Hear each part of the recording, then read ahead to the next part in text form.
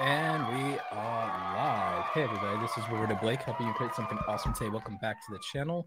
So, today we're going to be talking about how to build a successful YouTube channel. I'm going to be exposing some of the secrets of full time content creators. If you're new here, my name is Roberto Blake.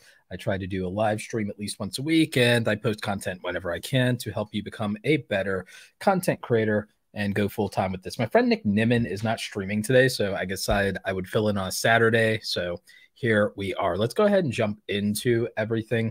I've got my live stream set up here. Uh, definitely will be taking your super chats if anyone wants to do that. I'm also going to be enjoying a lovely frosted lemonade. So that is what I'm going to be doing.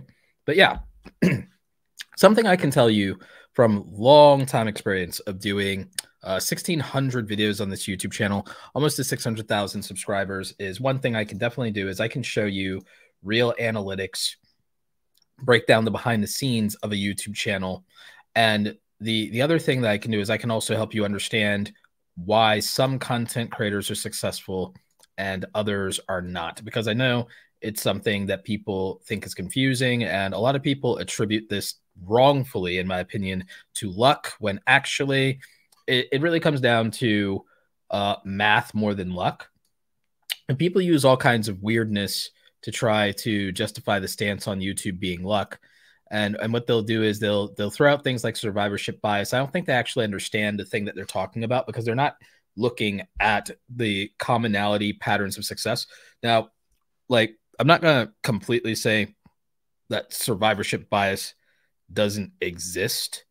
It's just that it's not really a thing that's indicative of success when we talk about being a content creator, because being a content creator is actually a profession. It's actual skills that you need to be a successful content creator. And the other thing is that people come up with subjective versions of being a successful content creator. And I kind of want to go against that.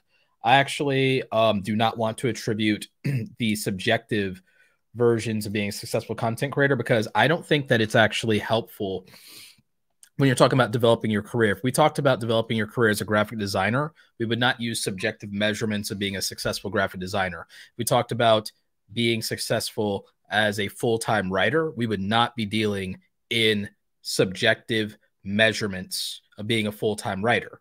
So why do we have subjective measurements, subjective feelings-based metrics for being a successful content creator on social media platforms like YouTube when we have an abundance of analytics to to tell us. So I'm going to tell you what I define um, as a successful content creator through various levels of success. Various levels of success when we're talking about um, building yourself out to be a career based content creator. Because, by the way, there is nothing wrong with being a hobby based content creator, but we need to separate and differentiate between I'm a hobby based content creator. I want to do what I want. I want to have fun and blah blah blah. Okay, great. You're you're a hobbyist. There's no offense in saying you're not a serious content creator and you're not making the same commitments as someone who wants a career. It's no different than saying that you enjoy playing basketball versus you want to play for a team in the pro levels of the NBA and have a career. It's very different. Now, your odds are more obviously have better odds of being a content creator. But I make this point to say if you want to be a successful content creator, one of the first things you should do is meet the monetization requirements for the platform that you're on. If it's YouTube, if it's YouTube specifically, you want to build a successful YouTube channel, meet the YouTube monetization requirements. So that is number one meet the YouTube monetization requirements. And what happens is if you can meet the YouTube monetization requirements, you get to go into this section called earn. Excuse me, I got the sniffles a little bit. You get to go into the section called earn, and then there's multiple ways for YouTube to pay you out if you get monetized. So that means now when you're doing something, you're not really doing it purely in hobby mode. There's potential for you to earn. There's actual potential for you to earn.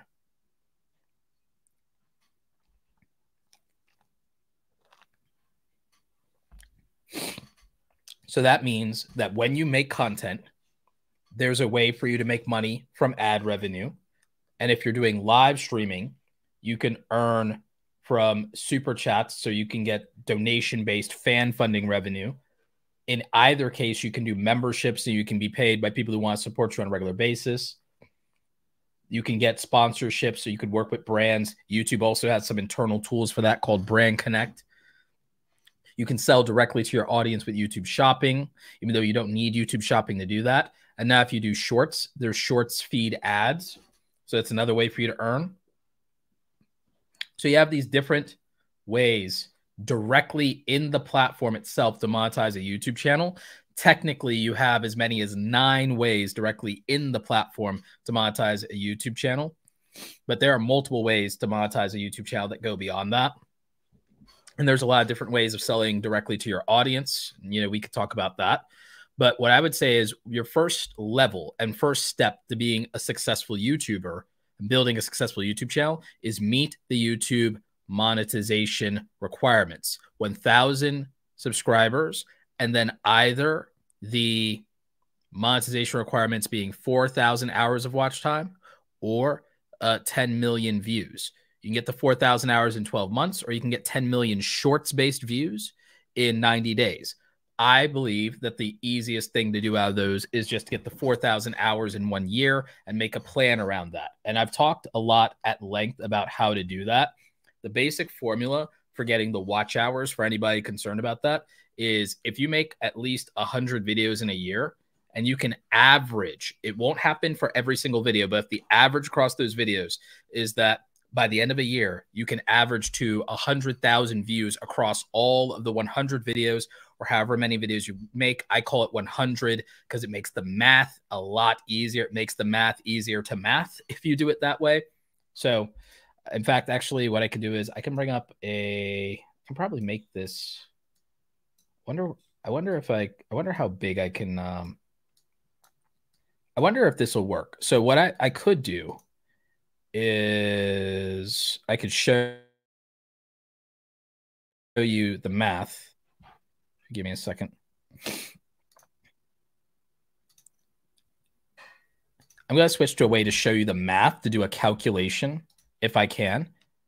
We'll see how um, big I can get on the screen. I'm going to try to show you a math calculation to get the watch hours for YouTube. Okay. So if you can get 100,000 views on YouTube, yeah, 100,000. You get 100,000 views on YouTube. Is that the right amount of zeros? Just make sure. Yeah. You get 100,000 views on YouTube, right? And you know you have to get um 4,000 watch hours. You need to be able to average three minutes average view duration across those videos because that's going to give you 300,000 hours of watch, sorry, 300,000 minutes of watch time.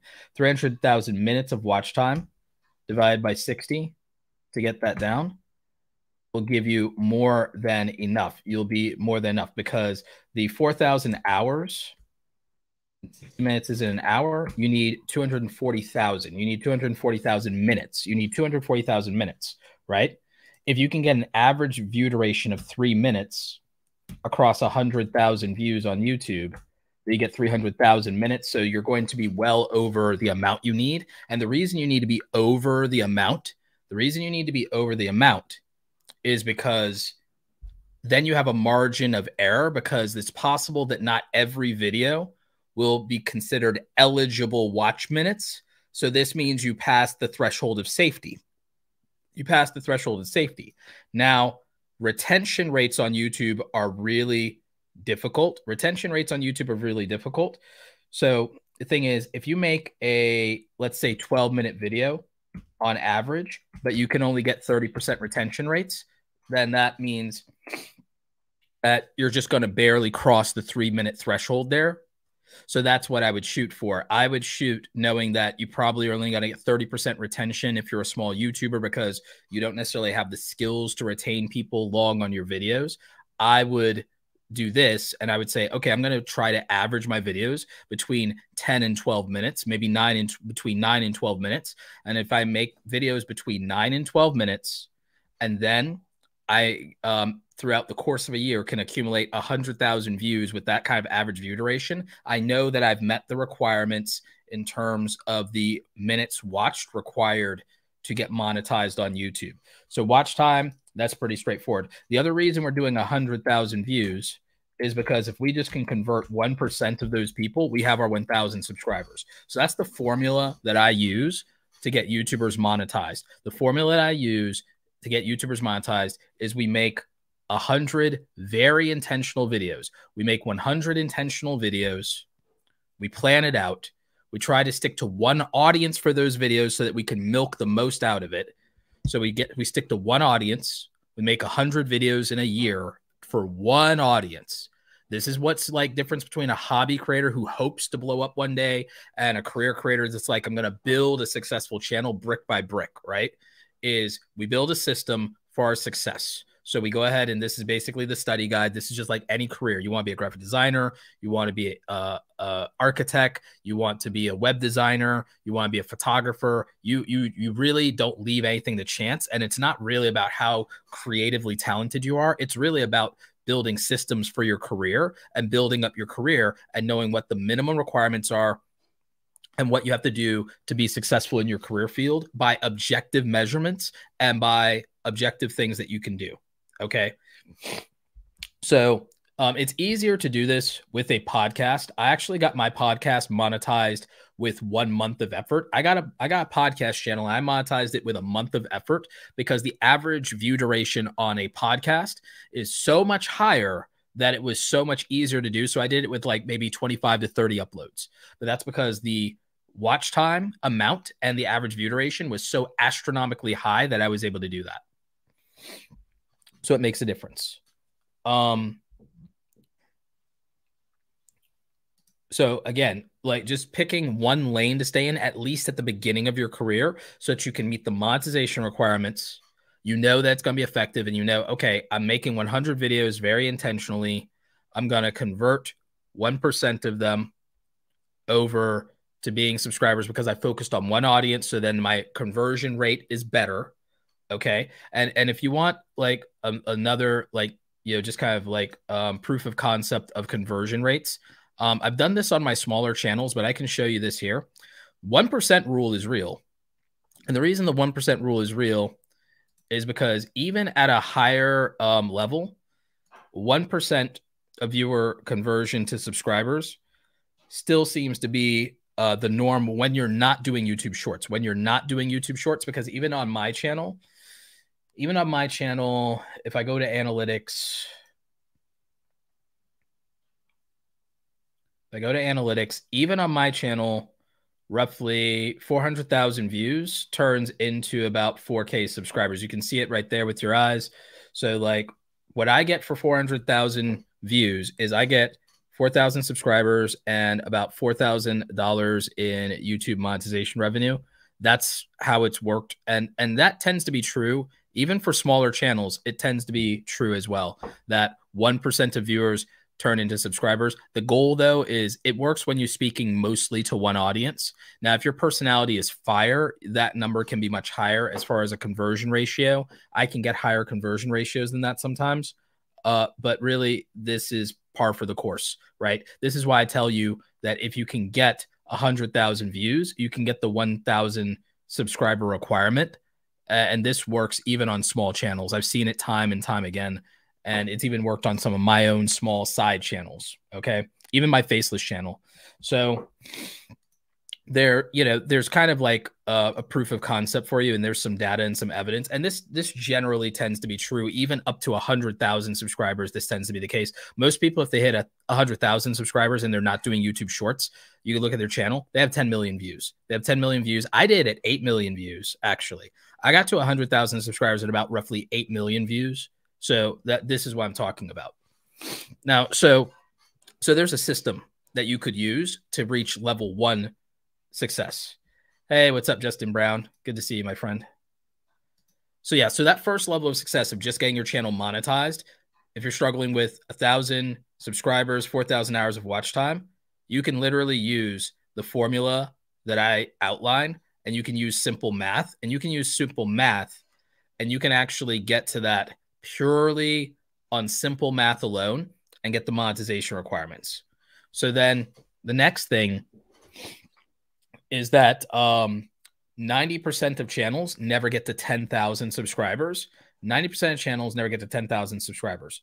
What you would want to do, what you would want to do after you get your first 1,000 subscribers is you want to try to identify videos that performed better and you want to duplicate that in terms of the effort for your videos. Because if you go into advanced analytics, which none of you like to do, um, you have to go to analytics on your desktop. You guys need to stop just going to analytics on your smartphone. You need to go to analytics on your desktop, and then you need to look at advanced mode. You need to look at uh, content by subscribers. And then when you look at content by subscribers, if you want to grow your channel and you say, okay, it took you a year to get, it took you a year to get a thousand subscribers. You don't want to grow by a thousand subscribers a year. Let's say you want to grow by a thousand subscribers a month. Well, then you have to start doing the things to grow by a thousand subscribers a month. you need to identify them.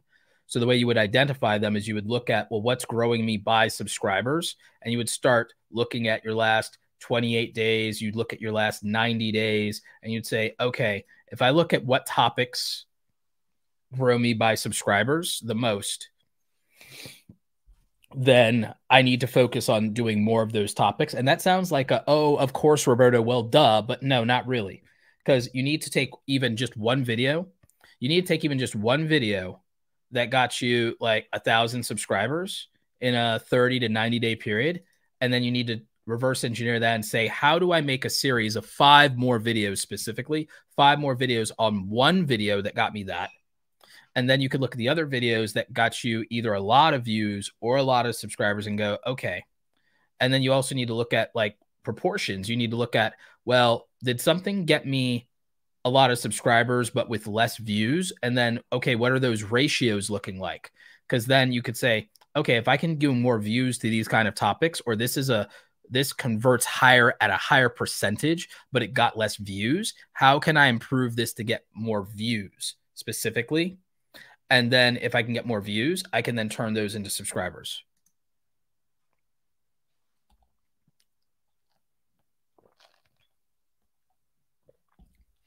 We've got YouTube's creator liaison, my good friend Rene Ritchie in the house, says, preach those advanced analytics, so valuable for creators. It really is. It really is. Um, and again, what's hurting a lot of you, and I hate to break it to you, a lot of you, what's hurting your channel is your own boredom.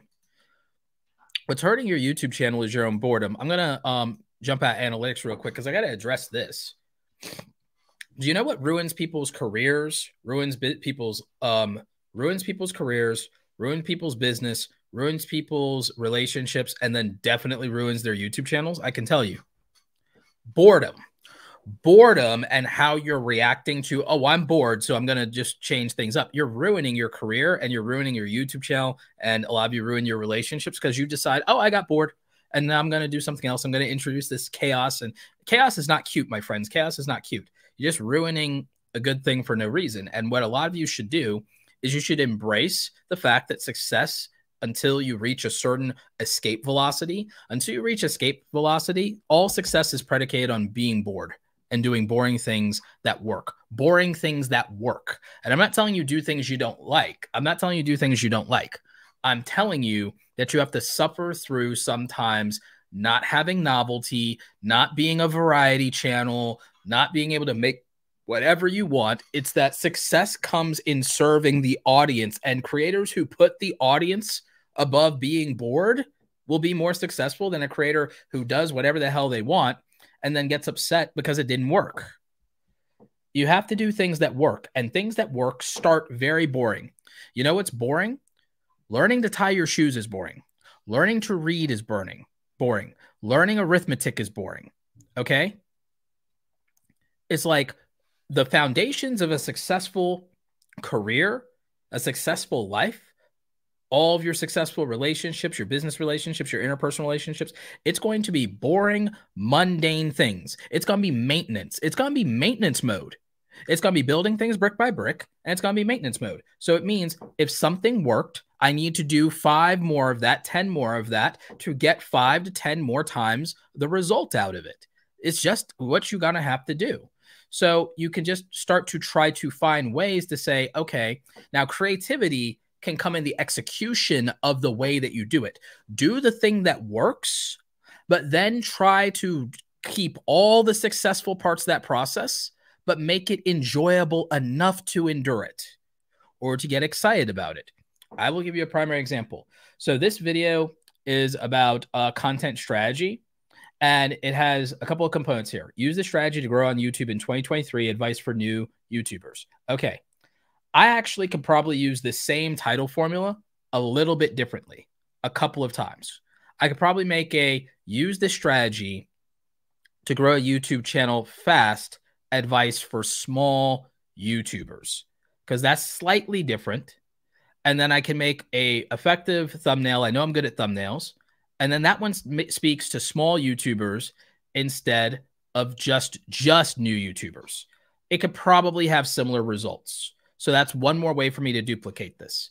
Another video about content strategy is like use this strategy to grow on YouTube. Advice for YouTubers with a full-time job. That's probably the majority of YouTubers. That's probably going to be really helpful. Use this advice to get monetized on YouTube. How to get 4,000 watch hours fast. Use this advice to get monetized on YouTube. How to get 1,000 subscribers fast. So now I probably have five videos that I could make that I know have the potential in a 90 day period to do very well. But like I made this video, how long ago did I make this video? Yeah, I made this video in the last 90 days. So I know that's like, okay, if I make five more videos like this, then I probably can get another 8,000 subscribers from doing five videos. That's probably a really good idea, right? So it, it's just about um, using the data that you have and realizing that there is a reason that things work and that the, you have to, a YouTuber grows by putting the audience first. This is supply and demand you have to supply what the audience demands.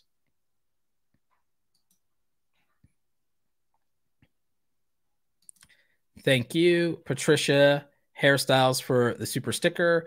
And thank you, one, for the super chat. Appreciate you. 999 super chat. We have more than one channel. We don't have to stick to one that we could run a couple of channels. In theory, you can, but here's my problem with people doing that because they're bored. Because this is like, and this is no offense to anybody, but this is the problem also with people being bored. See, if you're not a full time content creator already, you probably shouldn't run more than one YouTube channel. If you're not a full time, I need to make a video about this actually, about when to start a second YouTube channel. Do not start a second YouTube channel if you're not a full time creator if you're bored, get over it and make one channel work, get one channel monetized, get that channel to make a thousand dollars a month for you, and then start from there. And then once that's working and everything like that, if, if you're bored, play video games. If you're bored, do TikTok. If you're bored, do Instagram. Don't start a second YouTube channel if you're not a full-time content creator because you're bored or because they're like you you want to do different things, you're tired of doing the same thing over and over again when you pick something for YouTube, pick something you're not going to get tired of. Pick something you're not going to get tired of. This is real advice. I'm just giving you real advice. It's harsh. A lot of people won't agree with it. They'll cherry pick exceptions versus the rule. I'm telling you, just like, you know, unfortunately in the real world, if you wanted to do a career, a profession, I would tell you if you're going to pick a college major, pick something you actually want to do potentially for the rest of your life do not change majors halfway through because you'll have to start over from scratch. And you're going to do that because you're bored. If you're going to commit to something, try to get it right the first time. Now, not everyone will get it right the first time.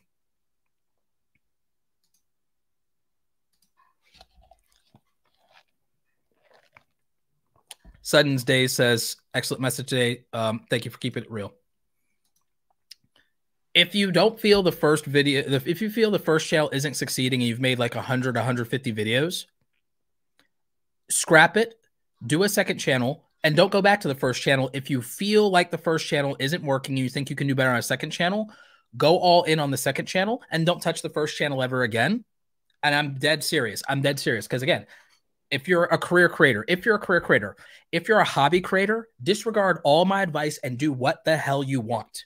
My advice, I'm, I want to like caveat this stream. I want to caveat the stream.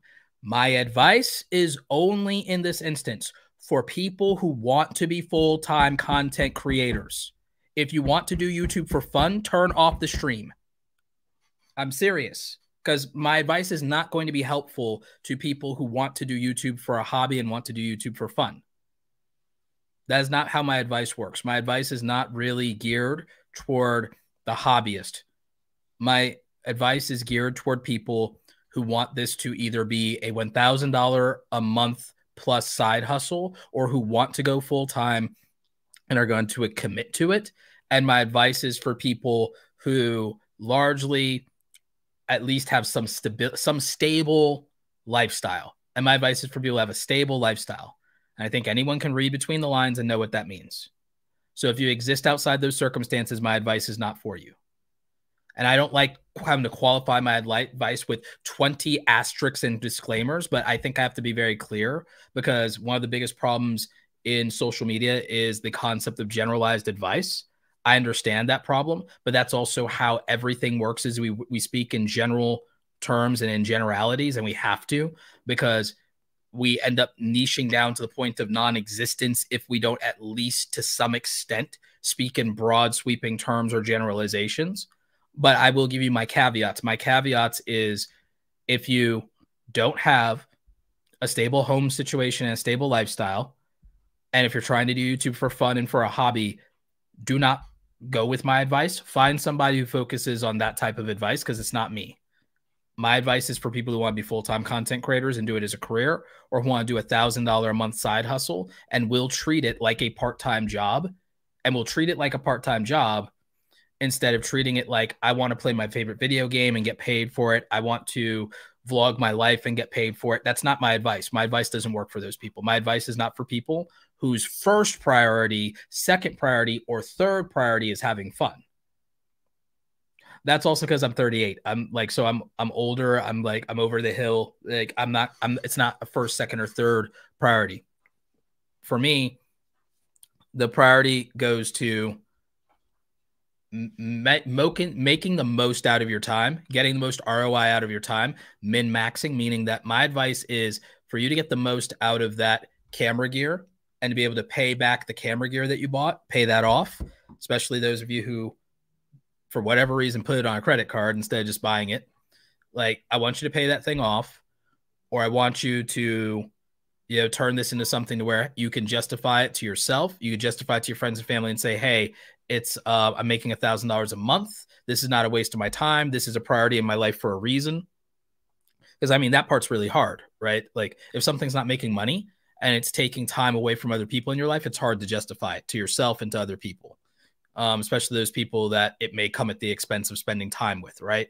So if if you have people that you're not spending time with to make content creation, kind of hard to justify it sometimes if you can't say that it's making a return. So there's so that's you know that's the issue. Um and the thing is you can be creative and you can express yourself and you can have ADHD but that that doesn't eliminate the priority of focus because the the the issue is going to be that you cannot use ADHD as a reason or an excuse for your employer of why you did something outside of the manual or outside the box when you were supposed to follow instructions step by step for the company to meet its goals. You're not going to have that excuse at work. Your boss isn't going to have that. Teachers aren't going to have that. Um, teachers are not very lenient on that sort of thing. And uh, for producing real world resorts, like the world doesn't owe any of us understanding. And that's a harsh thing to come to a realization of. The audience doesn't know you understanding. It's hard. So the way that you address it is you package up front and give people what they want. And if you want to have fun, or you want to tweak your you know your brain or whatever do it in the editing. If you're going to do anything do it in the editing but do it in the editing in like the middle of the video not in the first 30 seconds of the video. You everything that's up front has to serve the audience and put the audience first. So the topic title and thumbnail that has to be about the audience not about you. The hook in the video in that first 30 seconds that first 30 seconds that first one third of the video that has to be about the audience not about you and then whatever thing is going to satisfy you, that can be in the middle of a video. You want to do a little fun skit, you can do that in the middle of a video. You want to do a quirky edit thing that you just learned because it'd be cool or a thing that you think would look good, you can do that in the middle of the video because at least you have the first one third and the audience might be able to feel like they got some value. You have to put the audience first. So, you know, the, the, the there's all these excuses and distractions that are going to hurt your career as a content creator and you have to be ruthless about this. You know what they say in writing? In writing they say kill your darlings. In writing and editing they say kill your dollar darlings. And what this is is like there might be a part of the book or the story that you were really attached to that just disconnects the reader or pulls them out of the story and you have to be willing to get rid of that thing. You have to be willing to kill your darlings for the sake of a better story for the sake of the reader. And a content creator has to do the same ruthless choices for the benefit of their viewers for the benefit of the viewers. They have to create the best experience for the viewer. Because if you don't serve the audience, if you don't serve your audience, somebody else will come along and do it. If you don't serve your audience, somebody will. Somebody will. And they'll be happy to run their numbers up and they'll say, I don't care. I'll be bored. I'll do the thing. Because what they'll say is they'll say, Well, I want that silver play button or I want to make $10,000, $20,000 a month. So what the audience wants is what the audience gets. Someone will serve the audience if you don't. And then you'll sit there and you'll be like satisfying yourself and you'll be an audience of one or or even if you're not an audience of one, you'll be an audience of 100 and it'll be 100 and maybe they're ride or die. And that if that's enough for you, that's fine. That's what being a hobby creator can look like. And I have nothing against people being a hobby creator. But I'm saying if you can't commit, then it's not a career. If you can't commit to things, then it's not a career. It's a hobby. Because careers are commitments. Careers are often decade long commitments, lifelong commitments. If you can't even stick with one thing for a year, do you think that you're going to be able to stick with one thing for a decade just because it takes off? This is why people who go viral with one video can't sustain it, by the way. Everyone wants to go viral. Viral creators often aren't able to sustain it because they don't want to do the thing that succeeded. And sometimes that's a good idea because sometimes they succeed doing things that are embarrassing or that can't be duplicated. And they live in the shadow of their viral video. They were a one hit wonder. Going viral is not the blessing that people pretend it is a lot of times because most people can't sustain it because it's not the thing that would make them happy. They have no ability to emotionally sustain doing that content. And guess what? Someone will come along who can. We'll see that that's a viral trend. And then that's why someone who starts the trend doesn't benefit as much as somebody who takes over the trend. And that can happen. So Chloe Forbes says uh, five dollar five euro super chat. Is it possible to become a full time content creator on YouTube alone, or do you think we need other social media platforms too? Largely, most people don't use other social media platforms to grow their YouTube channel. Uh, there, um, and a lot of times the other social media platforms can be a distraction to your YouTube channel, but other social media platforms can help you with brand deals to become a full time content creator. So I'm going to tell you some things that you don't know about full time content creators. I'm going to tell you a couple of things you don't know about full time content creators. Um, in fact, actually, what I'll let you do is if people want to super chat and then tell me wh- who uh, a favorite full time content creator, and this needs to be a full time content creator. So don't super chat your own channel if you're not a full time content creator. But if someone wants to super chat like over $10, I will analyze the full time content creator of, of your choice and I will tell you things that made them successful that you may have overlooked and not understand. And I will break down their success for you. Um, my caveat on this is no one's allowed to pick Mr. Beast. No one's allowed to pick Mr. Beast. I will break down and analyze the success of whatever content creator you want. It's just not allowed to be Mr. Beast. It's also not allowed to be anybody who's not currently uploading videos. So, yes, you can become a full time content creator alone. In fact, it might be more financially viable to become a full time content creator alone because if you depending on your situation if you're single it's uh, it's easier financially to become full-time because you can live very modest. You can live very modest. You can become a full-time content creator. You can make three four five thousand dollars a month live somewhere that's not new york and california and you could do it strictly on youtube. You don't need other platforms but you also wouldn't need a team. I actually have several videos that i have planned this year that are specifically about being a solo content creator and not hiring a team. What a lot of you probably don't know is the 1600 videos on my channel. I edit my own videos still. I still do not have any type of video editor helping me. I do all the videos, I do all the thumbnails, I do all the production for the live streams. I'm doing all of it. I have um, you know, a team helping me in my coaching business, but that's it. Team helps me on my coaching business, and that's it. Um, but but yeah, you you have to pick something. And and by, by you have to pick something, I, you have to pick an audience. You you really have to pick an audience. So when I say niche down, I'm not really talking about niching down to a topic.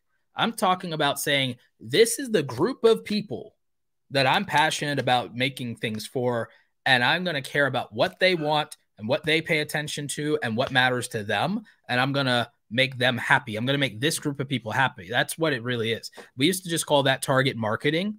Um, we used to just call that target marketing in business.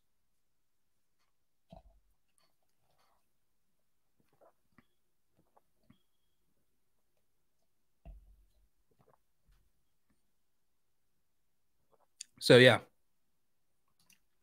Um Terraman says, Yep, when I play live music, I put the audience first. Yeah, you have to.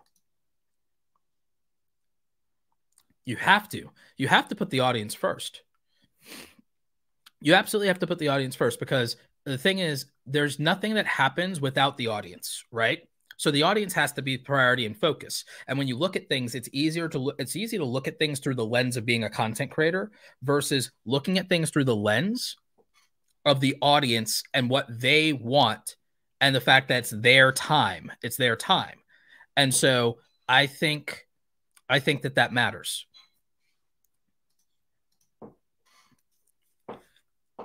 Yeah, you can have different playlists but your the topics you're you're building are entirely too separated, right? So um you're saying that you want to build different playlist topics like finance, music, career, and food. That will confuse not just the algorithm, that confuses a viewer. That confuses a viewer completely. Um, we're not looking for that. Can there's not a TV show that you're watching. There's not a TV show that you're watching for all of those topics. You see what I'm saying? You're, there's not one TV show that you're watching that does all of those things. So I wouldn't I wouldn't do that. I wouldn't do that. The reason like find a solution that you're solving for these women. A solution that's meaningful to the the, one of the most important things you could do for these women is focus on finance and career. You could focus on finance and career because those two things are intrinsic to um, success and independence and economic mobility. So, finance and career. Now, those things are extraordinarily similar, but they solve for uh, uh, uh, uh, enough of the same type of circumstances and problems that those people would have that allows them to watch every video that you would upload. Okay. So diversifying, you don't need to diversify much more than finance and career, to be honest with you. You don't need to diversify much more than finance and career because finance has like maybe five different product buckets in it. You could be finance, great. Finance is also financial literacy. Finance is also investing. So you could teach them that. So you could teach them financial literacy. You could teach them investing. You could teach them budgeting. You could teach them um, credit hacking and and things of that nature. You could teach personal finance. Those are five buckets under finance by itself. Then in career, okay, career development. teach salary negotiation and salary negotiation role, role play. Okay. You could teach career building and career skills. Skills. You could do list of high paying careers. Okay. You could do things on switching uh, careers. And you could do things on job placement or or things of that nature, or when to leave your career, when to transition, what you should be paid, salary transparency. You have literally you have 10 content buckets. If all you taught these women were finance and career development, and that's enough to consolidate an audience. And the thing is, that's a more important priority to them than music or food. Music and food are distractions. Finance and career are intrinsic to a better life for them. And so why not make that a priority and say the specific problem I have? Because guess what? If they have their career in order and they have work life balance, and if they have their finances in order, they make enough money, they have enough security, they have enough stability, they can go to music festivals all they want and they can buy whatever food they want. They could travel the world and try whatever food they want to try because they can afford it at that point.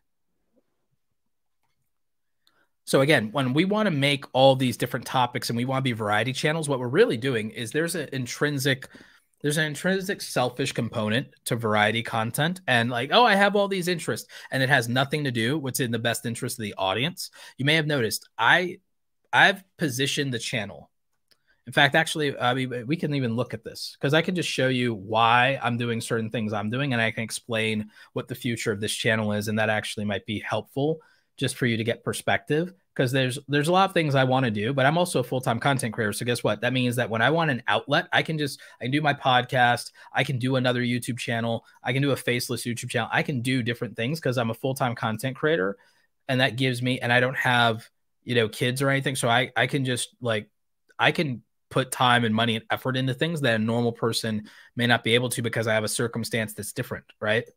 So what I'm going to show you is hang on I'm going to switch screens real quick. I'm going to bring up a screen and I'm going to show you um, why I changed like the main content buckets for my channel. Um, ah, here it is. I'm going to show you why I changed the main content buckets for my channel, what I changed them to, and why it makes sense for what I'm building out. And maybe this will help you understand because there's a way to address variety should exist in the guise of how you solve for a problem, not the problem that you solve per se. Or again, the audience you solve the problem for. It could be the things that are meaningful to that group of people. It could be the things that's meaningful to that group of people. Now, again, this is easier to parse in your head if you're doing education stuff. But if you're doing entertainment, you absolutely should niche down too if you're doing entertainment. And by that, I mean you should niche down kind of to a mission statement or a style or a thing that you're doing. So that's a little bit more about style and brand building in a way. And again, I can I can I can you can pick creators and I can tell you how they're doing it and I can make use them as an example. But um, always be booked cruise and travel says appreciate the straightforwardness. Keep telling uh, uh, keep telling us how it is. Uh, I will. Um, so on my channel, creators and business profit from your passion in the creator economy. Okay. So when you go to the the playlist that are featured on my channel, content creators who want to be full time are building an online business. If you're trying to be a full time content creator, essentially you're trying to build an online business, whether you realize it or not, because that's how you're making your money. The best platform for building your brand and audience online in terms of social media platforms or media platforms is going to be YouTube as far as I'm concerned. And it's the one that I have the expertise and experience in to the to the most degree, followed by I would say Twitter, Instagram and LinkedIn for me. Cuz I have almost 100,000 followers on Twitter. I have like um 70 almost 75,000 followers on Twitter. I'll be at 100,000 by the end of next year on Twitter so I can speak to that. But YouTube is the one that pays people, so it's probably the best one as far as I'm concerned. Okay. Then, if you're going to be a full time content creator, how do most full time content creators make their money? Brand deals. So, oh, it makes sense that I have a playlist on brand deals, right? Well, to make content, you have to edit. So, it makes sense that I teach you how to properly edit your content and use editing tools and editing software and that those are super evergreen videos in their tutorials. So, okay, well, that makes sense. We'll start here to learn how to create content. So, being confident on camera, you kind of have to do that to be successful.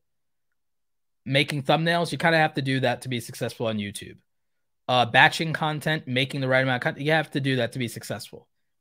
Oh, content strategy. It makes sense that I would want to teach you about content strategy. Is uploading more helping you niching down use this strategy um no bs advice how to get discovered. That makes sense.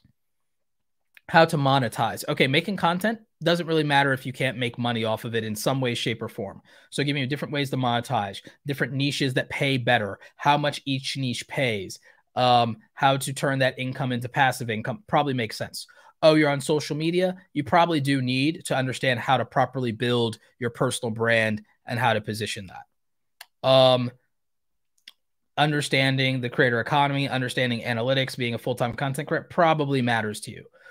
Managing your mental health as a content creator, probably important, um, or at least it should be. May not seem important enough for the views that I get whenever I cover that particular topic.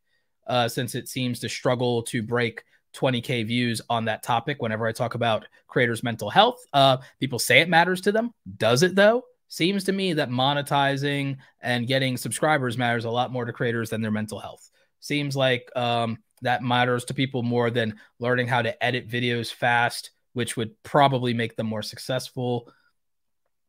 Um, brand deals seems to be doing well because people do want to get brand deals, but a lot of people don't qualify for them. So growth on YouTube and making money seem to be the two priorities for people. So again, that's why those things are the top of the uh, playlist that I put out there. So if you look at this, everything I describe shows you how I put the audience first. I'm like, okay, if these things get the most views, these things are the most interesting to people in aggregate repeatedly, and I can prove it with numbers. And hey, I know this is the money side that makes people successful. I know that time matters and video editing is hard, and I know content strategy is hard to grasp, and that making money is absolutely essential, and that personal branding is evergreen and always matters. Then these other things become like a lesser priority. Okay, I put things in the order that the audience basically dictated the order for. So you can kind of see why that makes sense. And that, like, okay, Roberto's answer to putting the audience first was figuring out that people care about um, money, time, and attention. Maybe not in that order, but to some degree. So, like money, time, and attention. Or you could argue because of subscriber growth that people care about subscribers because of status. Views are a utility for them, but I don't really focus on views. I focus on money because money is more of a utility. Views are a means to an end of getting that utility. So they go hand in hand. Subscribers are status, money is valuable and utility, and that time is essential to the process of accomplishing either of those things. So, where's the time drain for creators? Video editing is the time drain for creators. What's the motivation for creators? Monetization because of what money does for you. Money is a tool, so utility, or subscribers because of status. So subscribers is status, monetization is utility. Those are people's end game. A process for attaining that is, well, I need to be able to edit faster and I'd be able to make the right content. So video editing and content strategy. Well, what's the monetization method that people think is the most obscure in terms of details? Brand deals and sponsorships. What's the methodology for which people would like their money to be made? They would like to make it as passive as possible. Why? So they could get more time back to either make better content or enjoy their lives. Everything I did is strategic. And so you can see that that was like a strategic take on how to put the audience first how to execute that in terms of content strategy and that my channel is not as much of a variety channel as it would seem. It has some of the same struggles as a variety channel but what's the goal here?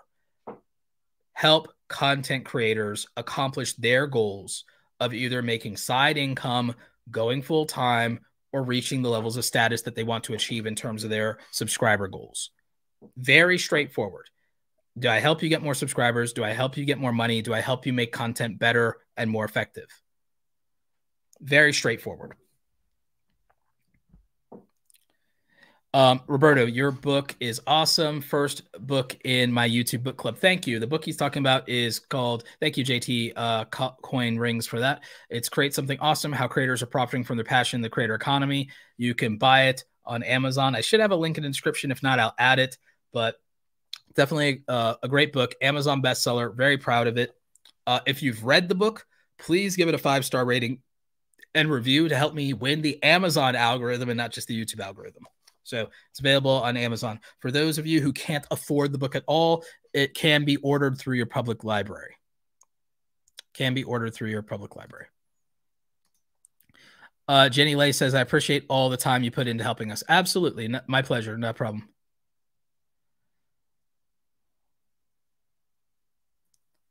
Let's see. Um, oh, we have one I can uh, definitely break down. Um, this is this actually really, I can tell you what this person is doing successfully. Um, to, uh, Monkey D Wade says breakdown totally not Mark. He's an anime tuber that inspired me. Yeah, I can do that. I'm familiar with Mark's content anyway, so that's actually not that bad. Um, Totally not Mark. I can tell you a liability of totally not Mark's. Totally not Mark makes a lot of content in the anime community that's vulnerable copyright claims and copyright strikes because he covers a lot of properties that are owned by um, Toei Animation and Shueisha, respectively.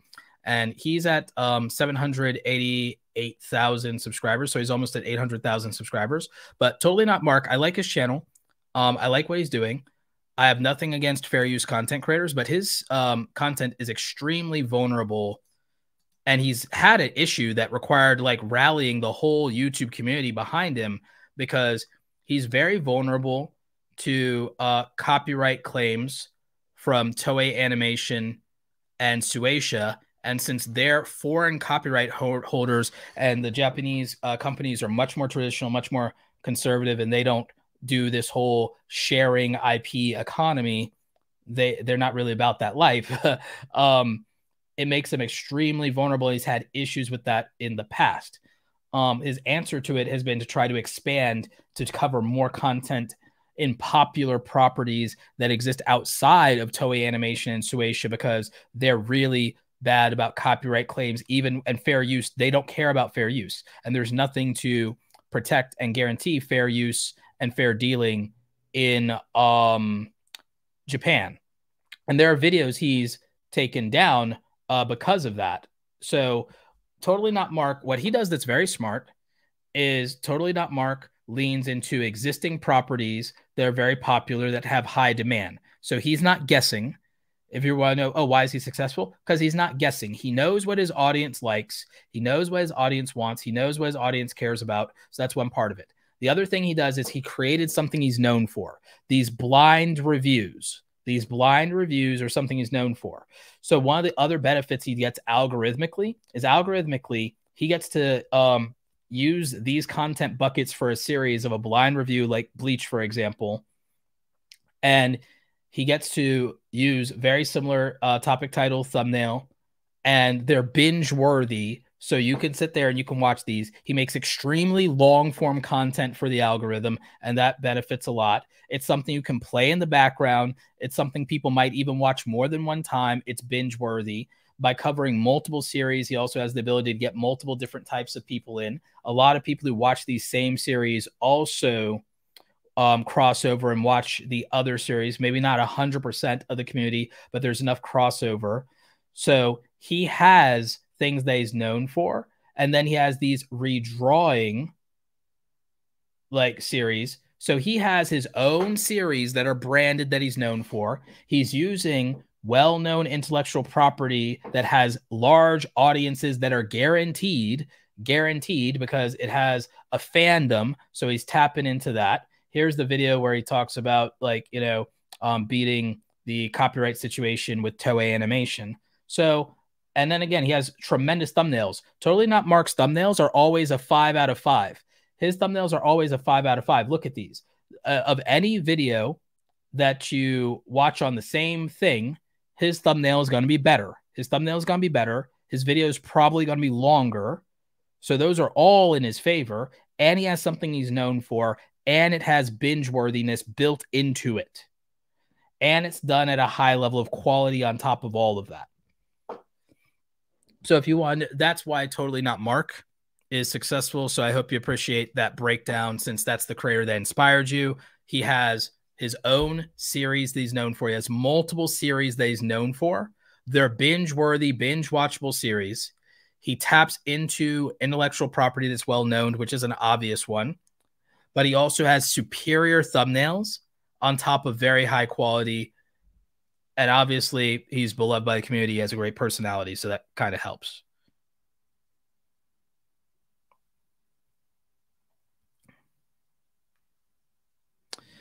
Um, through a glass darkly says based on the economics, I don't see how someone could afford a team on beneath 100 subscribers. Uh, they could if their business model exists outside of ad revenue, and it's actually very easy for your business to exist out, outside of ad revenue. Someone can afford a team let's say that somebody is a photographer or filmmaker and they have 50,000 subscribers. If that photographer or filmmaker has 50,000 subscribers, let's say they um, do three videos a week and they average 10K views on every upload because they have 50,000 subscribers. That person can afford a team. And I know this because of uh, creators like Jared Polin, for example. This person can afford a team. And actually, one of the reasons um, that this could work is because if they get 10,000 views per upload, but they're a photographer, but they sell something like a $100 course that makes you a better photographer, like Jared Polin did with Fro Knows Photo, right? They sell you a $100 course that helps you improve flash photography. And then they have a $100 course that helps you um, get out of auto and stop using auto on your camera, auto settings, and you get to learn how to use the manual settings. Now, those are two programs you can buy for $100. That means that the LTV of their customer, lifetime value of their customer is at least $200 if they get 10,000 views, there's a good chance that they get 10 people to buy that product. So that means every time they upload, they're getting 10 people to buy those two products on average. They're getting those sales. They're making a thousand, two thousand dollars per upload. They're uploading three times a week. They're making three thousand dollars in sales rather than ad revenue because they have a product built in, and that's per week. So that means that they're already making over 10k a month if they live somewhere that's not New York or California and they're living very modestly, and we're not even counting ad revenue, but we already know that they're in the photo niche like this and they're probably getting good views. They're probably making two, 3,000, even with 50K uh, subscribers, they're making probably 3,000 or more into ad revenue alone in ad revenue. So on ad revenue alone, they could probably pay for a part time or full time person to help them with a photography channel pretty pretty easily actually, depending on what the gig is. Okay, especially if they don't live in New York or California. That's pretty straightforward. Someone would much rather take thirty thousand dollars a year working for them than working at a company they don't like, um, and being able to do that and be able to play with camera gear all day. Easy, easy, easy win there. Okay, so then they have the three thousand ad revenue, and then they're making about probably 2,000, 3,000 a week in sales. They have more than enough money to live off of, plus have one team member.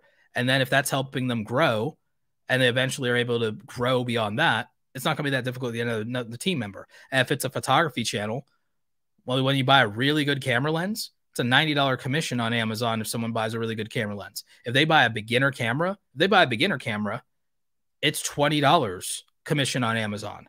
So I could definitely see them making more if they're getting 10,000 views and upload in their photography exclusive channel, they're probably getting a bunch of clips through those Amazon stuff. So they probably are making at that point a good $500 a week on Amazon affiliate at 50,000 subscribers on a photography dedicated channel. It's getting 10,000 views and upload even with 50,000 subscribers. So again, at 200 to 500 a week, let's say it's 500 a week on the Amazon affiliate. Well, that's another $2,000 a month. So they definitely got time, money to have at least two part-time employees.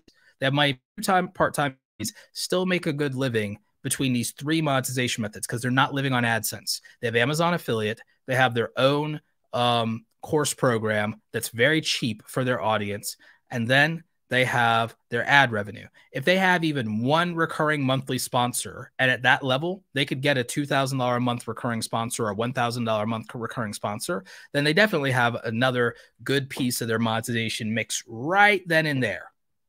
So, yes, at 50,000 subscribers in the right niche for the right channel, you could have two part time employees or one full time employee based on the economics because you're not, it's ad revenue is not the game, y'all. Like ad revenue isn't jack for a lot of channels. Ad revenue is not what makes channels rich. I'll tell you this my ad revenue is pretty good. I'm going to make like 40, $50,000 a year probably on YouTube revenue this year.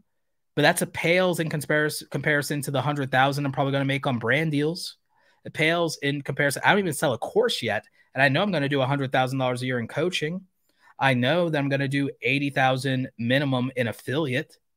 So as much as I love, love, love, love the 40, $50,000 a year, that's enough to hire a full-time person or two part-time people when it comes to ad revenue. Ad revenue is not that valuable for most content creators. And I'm in a high CPM niche most content creators are full time, I keep trying to tell you all this again. I'm going to expose the secret. If you talk to content creators and they actually broke down their income, for most of them, 50% or more of their money that they live off of comes exclusively from sponsorships. That's why so many people focus on sponsorships. Sponsorships is what make people full time.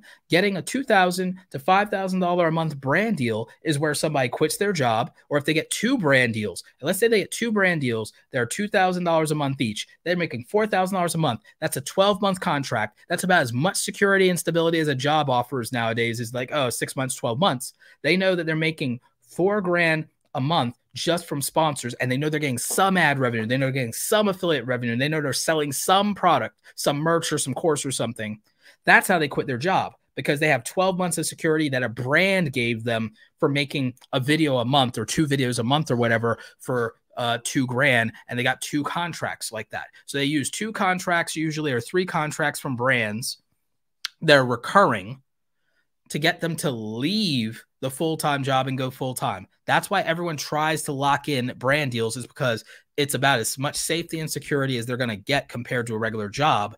And then that's what they want. Now, my path was that I was already a full time freelancer living hand to mouth.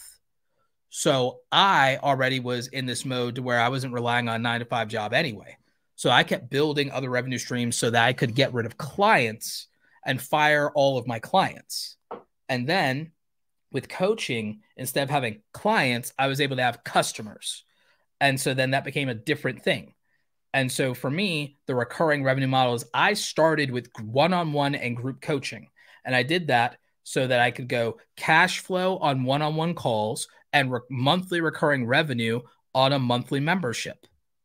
And so that's what I used. Then I didn't build a course product. I built a $99 YouTube starter kit. Later, I built the brand deal starter kit. So then I had another cash flow product.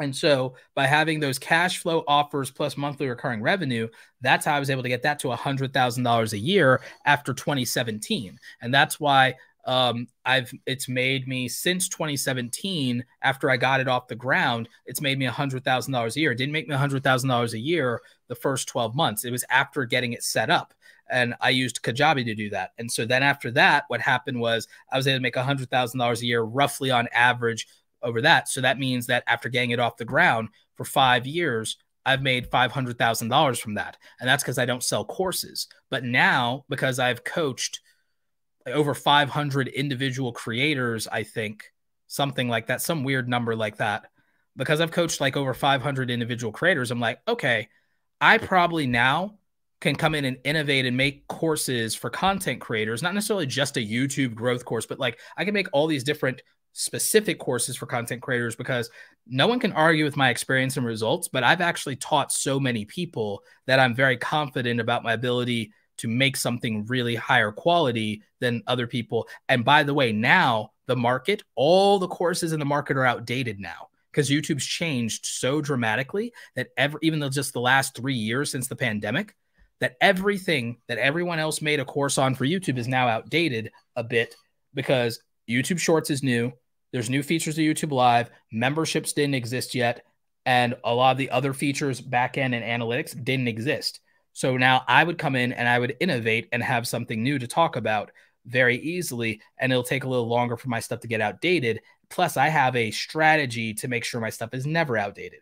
But that's an example of what I'm doing that, like, if someone takes any niche and says, How do I make my stuff evergreen? How do I build three to four revenue models for my business? How do I build three to four real income streams that also themselves can expand and grow over time? And then how do I invest that back into my channel? How do I invest that back into the channel? Me hiring someone full time on the YouTube side was not where I found the best return on investment and scale. So I hired help for my coaching business. Now, to some extent, it exists beyond a little bit my coaching business into my general day to day because hiring my sister as a personal assistant, one of the best things I ever did in my life, it helps me with everything. So, um, there's that. Um, I already answered this question. I answered this question about roughly 30 minutes ago.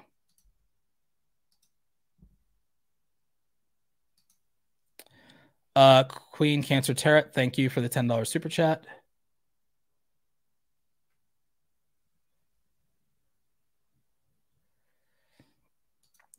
It's 100 videos in that first year to get monetized with the goal of getting 100,000 views total and averaging three minutes of average view duration across the 100,000 views. So that you have 300,000 minutes because then that's 5,000 hours of watch time roughly and the requirement is 4,000 hours of public watch time, which gives you a threshold of safety to meet the monetization requirements for the YouTube partner program and start earning ad revenue.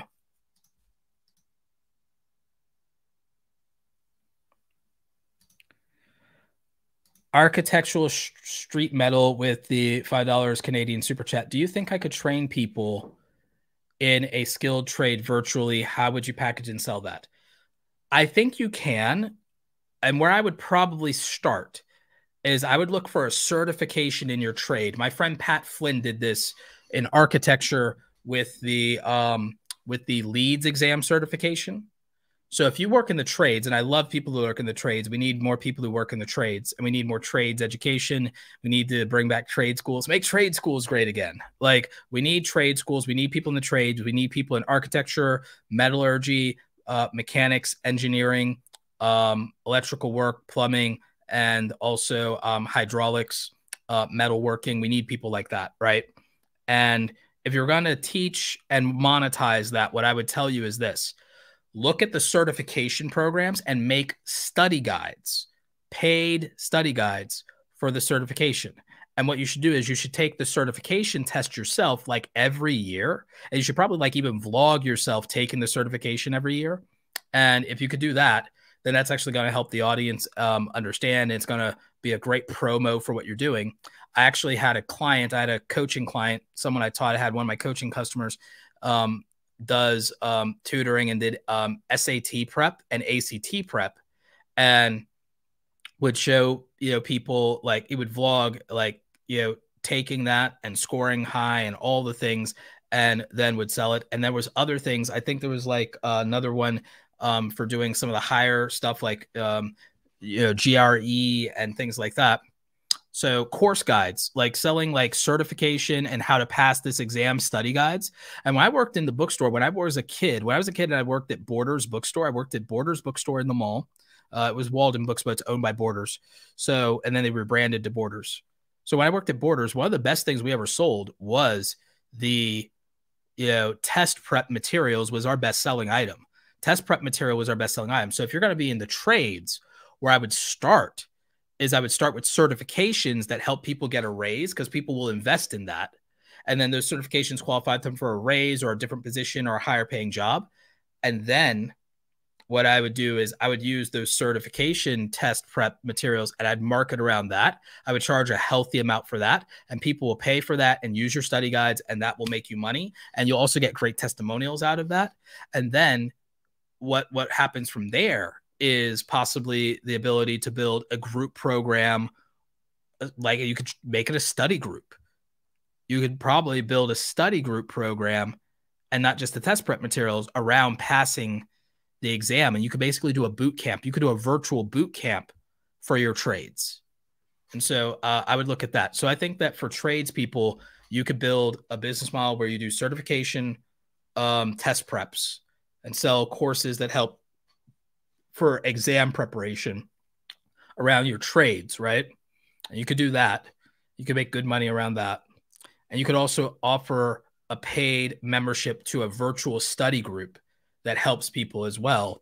And that's something people will pay for because they're investing in their career development.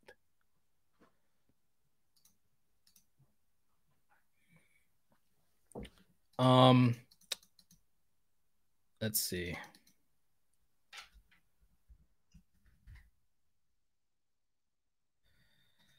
So you want me to review this YouTuber named RC Blakes. Um, let's see who this is.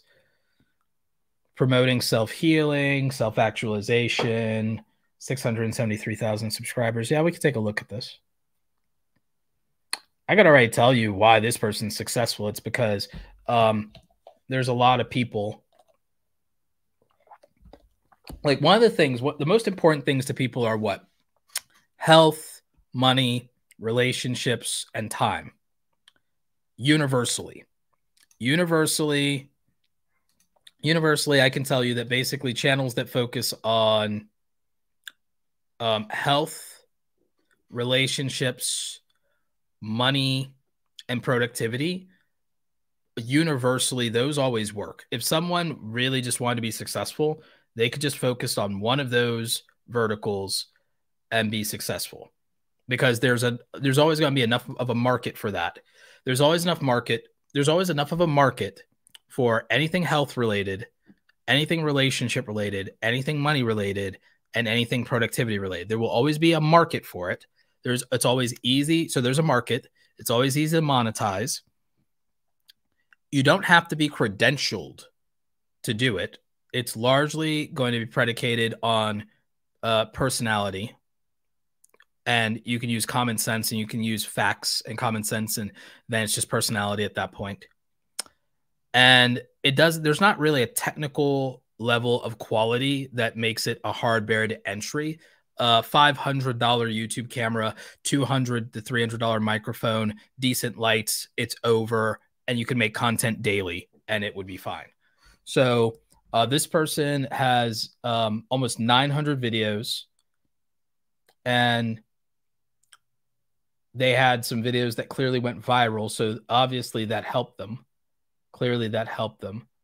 Um, probably, I would say they probably have close to 40, 50 million views, if not more. What videos are they making?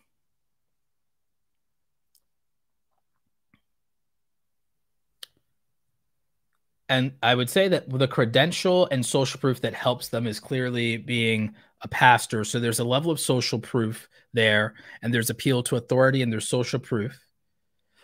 Very snazzy dresser. Um, looks like it's a husband and wife. Looks like they're married, so that adds some level of credibility. And they're focusing on. Um, they're making a large quantity of content every month, and it seems to focus on the things that people care the most about, which is largely um, relationship. And it looks like there's a lot of focus here around women, which is probably the largest uh, consumer base. So I would say that since this has a clear target audience, this has a clear target audience, at least right now, it seems to like focus primarily on women. So it knows who it's talking to, it knows what message it's telling. It's speaking only to that audience. It looks like it's largely talking specifically to black women. So there's a Tyler Perry vibe there, if I was going to guess. The titles are very strong, and the titles are most um, like emotionally driven. And so ultimately, people click uh, titles that are much more emotionally compelling than they are logic based titles. So and it's so they have the quantity they know the subject matter. They have a key target audience demographic that's largely consumers. They've been doing this for a very long time. They've made almost a thousand videos of inventory. So they've made a thousand videos that speak to the same audience. None of these are time sensitive so all the content is evergreen. You could watch any of these videos be promoted any of these videos in the algorithm at any given time. Click on it and then there's going to always be no matter what part they're covering it looks like there's nothing they talk about that there's not 20 videos you could watch from. So then that means that they have a high probability of on a long enough timeline, someone converting from a viewer to subscriber that exists within their target audience. So combining that with the fact that a couple of their videos clearly went viral with over a million views, um, yeah, I'm not surprised that this channel is successful. Uh, what could this channel do better or differently? Probably would be the thumbnails. The thumbnails for this are most of the time the thumbnails here are atrocious. The thumbnails are probably a two out of five, three out of five at best sometimes. Um, this channel could be at a million subscribers if it didn't have crappy thumbnails, in my opinion, because uh, then whatever its click through rate is, it could be higher. But the people are coming for the subject matter much more than the thumbnail. I would tell anyone that the topic and the timing matter a lot more than the thumbnail. The title is a reflection of the topic and the timing, so that's in the equation as well. That's the expression of that thing. Um, but I I think that regardless of social proof or authority that if anyone made a thousand videos with um, the best titles out of this, that they'd be successful. if someone literally just picked the 100 best performing titles for these videos and made better thumbnails and made the same titles, uh, especially in this day and age right now, um, it'd probably be a 100k channel after 200 videos with the with these titles or similar titles. If someone took the exact same thing but reverse engineered the strategy to speak the men's issues, probably performs about the same, I would imagine, uh, because it's it's just psychology and it's um, group dynamics, and um, it's it's very easy to see what you know what's happening with that. It's not necessarily anything very difficult to do.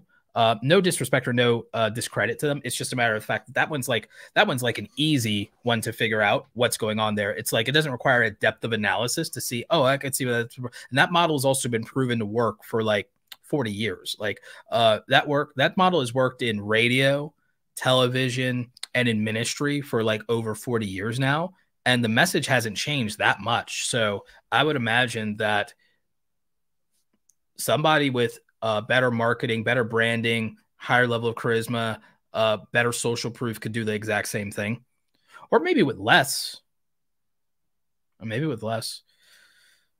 Um, Sun's days. I would love for your suggestions for my channel. I'm a full time content creator and want to grow.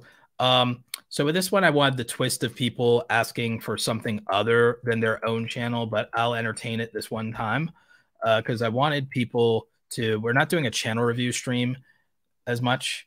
Um, but we can look at Suttons Daze. Um, this one seems to be a pantry and prepping channel uh, with 87,000 subscribers. So um, trying to bring it up here on the screen. And again, I only wanted to analyze a few channels, not to do because I don't really want to do channel reviews today. I want to do a channel review stream today. What I really want to do is just kind of to give you guys an understanding of how to reverse engineer what is successful and apply it to yourself because I think that's the hard thing to do is to see other people who are successful or even take advice from coaches. I think it's hard for some people. Like coaching one on one works the best. Do you know why coaching one on one works the best and why I offer it? The reason that one on one coaching works the best and why I offer one on one coaching is actually pretty simple is that the easiest thing in the world is just to be told what to do and then to actually do it from somebody who's actually done it and someone who understands what your situation and your specifics are and what your circumstances are and to tell you here's what to do in your circumstances with what you have where you are realistically step by step here's what you should do here's your action plan here's the reality of your situation from a top down view just for you and you alone and nobody else someone focused on your problems and nobody else and uh, how to make the most of what you have going for you, what your blind spots are. That's the easiest thing to get help from um, if somebody were to tell you what to do. That is the usually that is the best version of it. And the reason I bring them up and the reason I say that is because a lot of people are like, oh, YouTube advice doesn't work. It's like because you have like when YouTube advice doesn't work for somebody, they have a specific circumstance and they're using general advice. So they have a very specific thing that they need a prescription for, but they're taking a generic thing off the shelf that doesn't speak to that issue. And then they're surprised it doesn't work. That's where one on one coaching is more beneficial. Someone, now, as for courses, I'll be real with y'all. To some degree, courses are for people who are already somewhat above average. Like courses are for people, I don't think courses serve people who are not already autodactic learners, meaning somebody that supplied the right information is capable of teaching themselves with no hand holding and no additional help, but just needs um, information presented in the right order and in and and complete information, complete information delivered to them, and complete information that is delivered in the right order. And so I think that that matters quite a bit when it comes to, well, who should take a course. Uh, the person who should take a course is somebody whose only real need is they lack detailed information with no fluff in the right order with no distractions. And so that's why some people, some people can learn from just straight up YouTube because they don't need information that's as detailed, but they're already slightly above average. Someone a rank below them might benefit more from a course because they they're not just trying to fill in blanks. Like people who can learn from YouTube videos are trying to fill in blanks and gaps in knowledge that they already have because they're already slightly above average. They already have enough figured out and they're trying to solve a couple of solve for a few blind spots. They're trying to solve for a few blind spots, or they're an absolute beginner trying to get a basic understanding of something to build off of, right? So that is like who can learn from like free content. Free content is I need an introduction and basic understanding, or I need to fill in some blind spots. I only need to solve one or two problems here or there. And I think I got it on my own. And that still is for someone who, to some degree, can also be self taught and might just need a little nudge in the right direction or need to know something they don't know, that sort of thing a course serves the purpose. It can work for an absolute beginner if the biggest problem is I wouldn't know where to begin on my own. I wouldn't know what to ask. I don't know what I don't know, and I don't want to waste time. That's who a course at an absolute beginner level works for.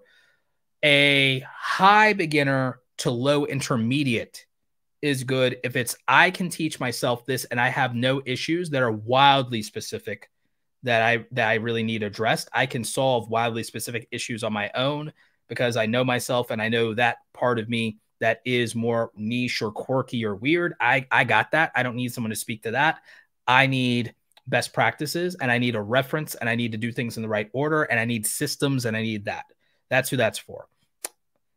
The only benefit to advanced or high intermediates for courses is blind spots they weren't aware they even had or when they feel that their knowledge of something is incomplete and that they would like something that's a little more like I would say systematized or rigid instead of the loose thing that they built on their own or their loose understanding of it.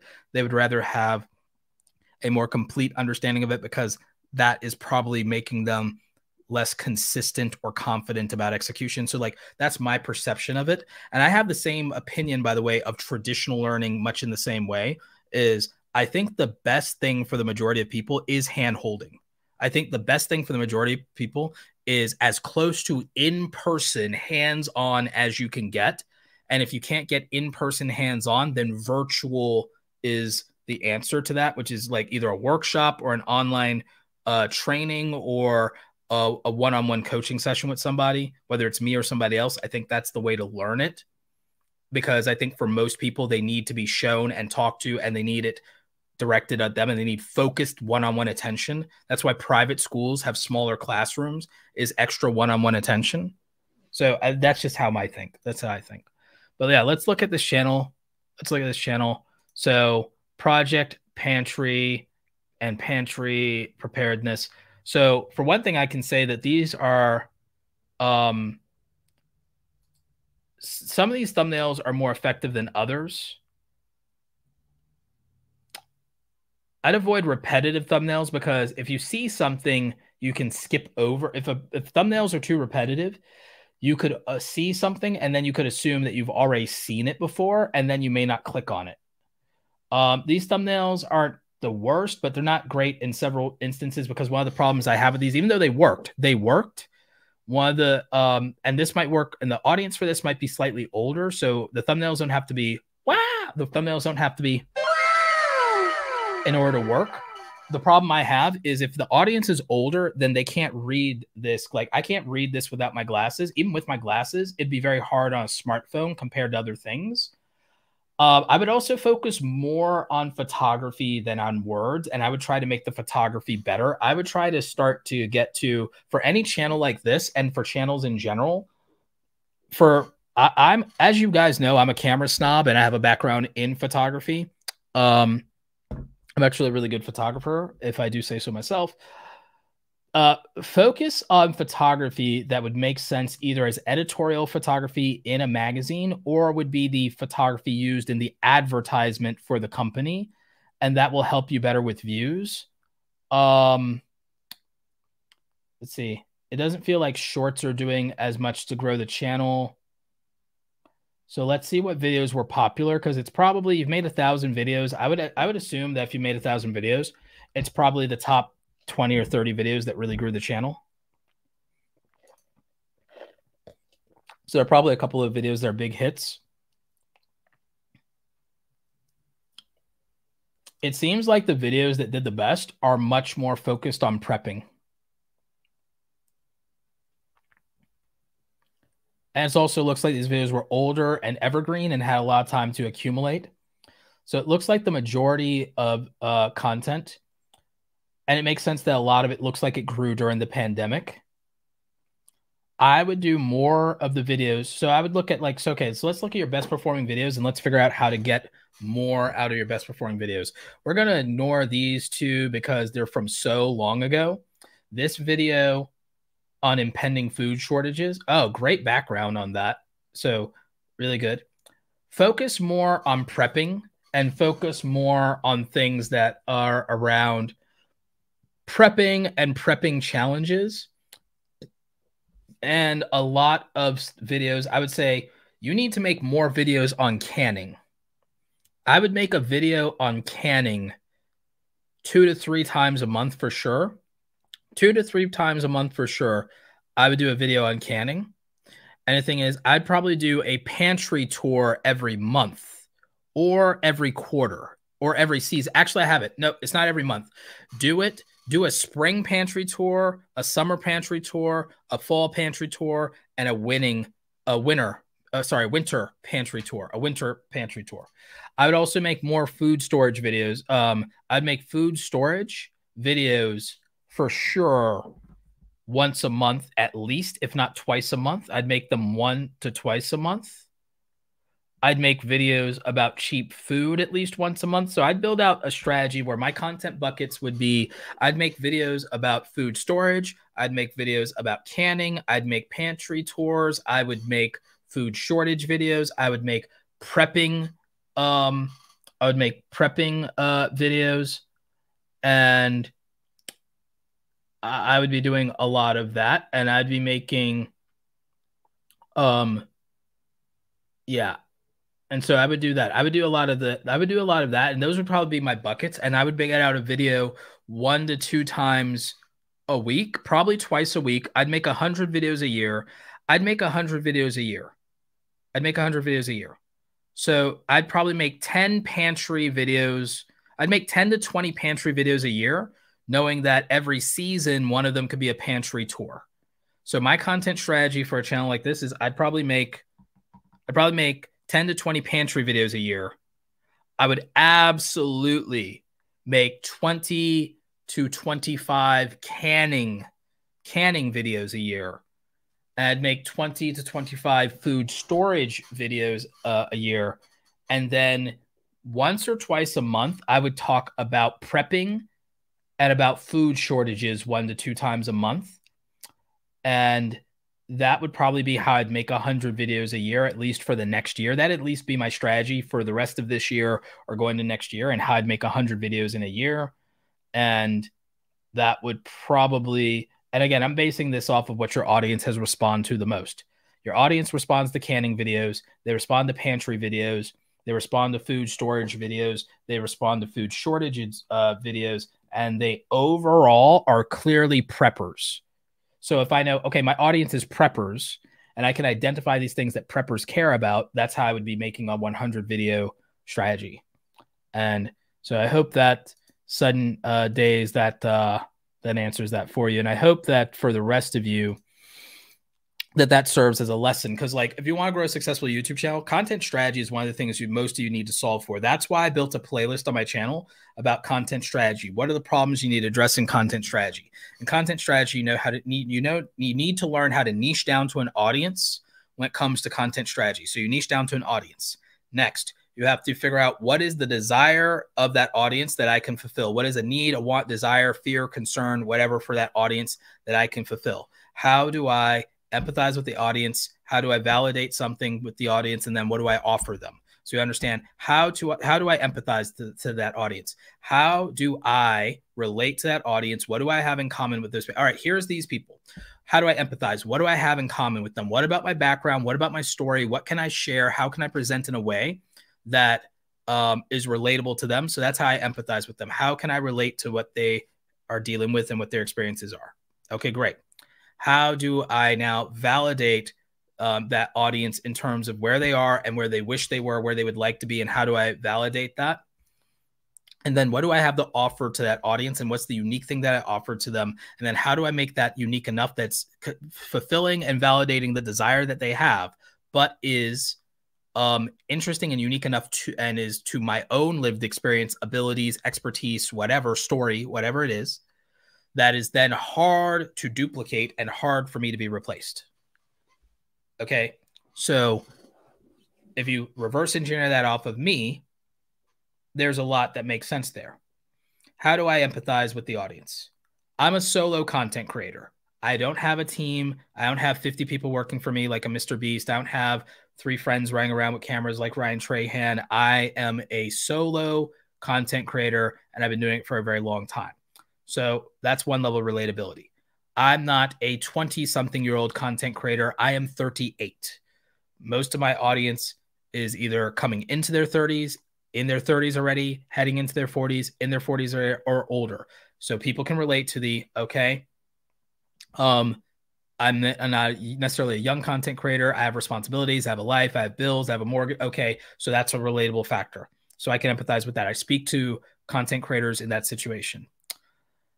I am not myself a working class content creator, but I relate to that because 10 years ago, I was a person who was making like 30, $35,000 a year. So I can understand and I've lived long enough and I'm an adult and it's fresh enough in my mind and it's enough of my lived experience and trauma to where I can understand working class issues. And so I can understand and I know exactly what it's like to make 30, $35,000 a year and then say, oh, I'm going to, I want to do something else. I want a different way to live. So I can understand that. So I can empathize that because it's in my own story, right? So that empathizes. So then when I communicate based on that empathy, it validates the people watching. It validates you when you're watching because you know I legitimately understand. And the best part is, I've been on YouTube so long, you can kind of go back in time and see me go through these things and evolve to where I am now. So that's the other part of it that um, is easy to help validate with the audience and validate the experience. Okay. So then it comes down to when I say and I talk about these things, people understand that I can can relate to these experiences, and so that builds a level of credibility and trust in because it's built on authenticity. So when we empathize with the audience, it has to be from an authentic place because that's what's going to validate what you say. And then in terms of what you offer, that addresses that thing. Well, so what do I offer content creators? For one, I offer the truth in the form of I talk about the reality. I don't sell the dream. I talk about the harshness of it. I talk about the mental health struggle of it. I talk about realistic expectations and I talk about processes. And I admit that a lot of what I say is not about having fun and that my system is more about being ruthless and getting numbers and hitting goals and being strategic and treating it like career development that is suited to a hobbyist or someone who has fun. So when I say that, people like the transparency of the fact that it's like, okay, he's not selling the dream um, he's and then the fact that I show my own analytics also is authentic and that's harder to duplicate. And a lot of people won't do that. I show my real numbers. A lot of people don't do that. And I talk about processes in a realistic way and I showcase those, I framework those, and I also um, run through different scenarios. I also have an understanding of a lot of different niches, and I also have proof is in the pudding. I've worked with hundreds of creators, and a lot of people can vouch for me, and I've been doing it for a very long time. And so there are enough unique things that I can offer in terms of transparency, trust. There's enough talent that I can demonstrate on my own. The fact that I've made 1600 videos, these are a lot of unique aspects to me that are very difficult to duplicate. So that means what I offer is unique enough. And I don't give the same advice as everyone else, and I don't have the same experiences as everyone else. I also don't have the same formats as other people. So there's a lot of different things. You can build out what you offer and you can make that deep if you really want to. You can go really deep with what you offer. You can go broad and deep there's a lot of ways to do it. Depends on how long of a career you have, but this is about strategic thinking. This is about strategic thinking. So, what's my story is a really good foundation for how you relate to an audience and niching down to an audience is what's my story? Because maybe what I should niche down to is something to where when I talk, I can say it with confidence and also I can be believed. So, the thing is, you should build off authenticity. Niching down is ne- like niche down to what is your most authentic and distilled version of yourself and who you can relate to. Think about it. So that makes the most sense, right? So niching down to a specific audience is niching down to people like you. Niching down to a specific audience is niching down to people like you because that's what's going to be most authentic. That's going to be most relatable. Niching down to what is a problem I have already solved with my ability and talent for a younger version of me, or what is an experience that I can put myself and challenge myself with. If you're not an expert at anything, great. If you're not an expert at anything, great. What could a person like me take on as a challenge that would uplift and inspire other people like me or would make other people like me curious about doing that same thing and and maybe having that experience or be entertained by seeing me someone like them someone like them go through that or take that on so you can think about it in that way Um, Uncle Stu, Uncle Stu, the old man on the block. What would you say about the Black Man's channel? I'm trying to teach self development. Um, I think you mean you're either trying to teach self improvement or personal development or both. If you're trying to teach self improvement and personal development, um, one, you have to already know how to list a bucket of problems that exist in terms of personal development and I would pick a lane. I wouldn't get too broad. I would say, okay, what's one thing I could teach uh, black men to improve on that would dramatically have a, a recognizable and immediate outcome in their life? So if you wanted to do that, I would focus on a couple of things. And so maybe you could focus on if you had a background that lets you do this, you could focus on image, for example. You could say you could focus on image and how to present yourself and how to dress like a grown man and you know not look like a teenager not look like a boy. You could focus on that. Like my friend antonio for real men real style teaches men how to dress. And you know that to a degree the clothes make the man and it helps build confidence it shows the world who you are it puts your best foot forward you do this in job interviews you do this on dates you do this for networking you do this when you represent your faith and you walk into your church you you know it's like what you decide to wear says a lot about you to the world. You could focus on that. That'd be one, and you could focus on that area. And there's a lot of buckets to niche down if you went with that. That's just one idea. That's just one idea.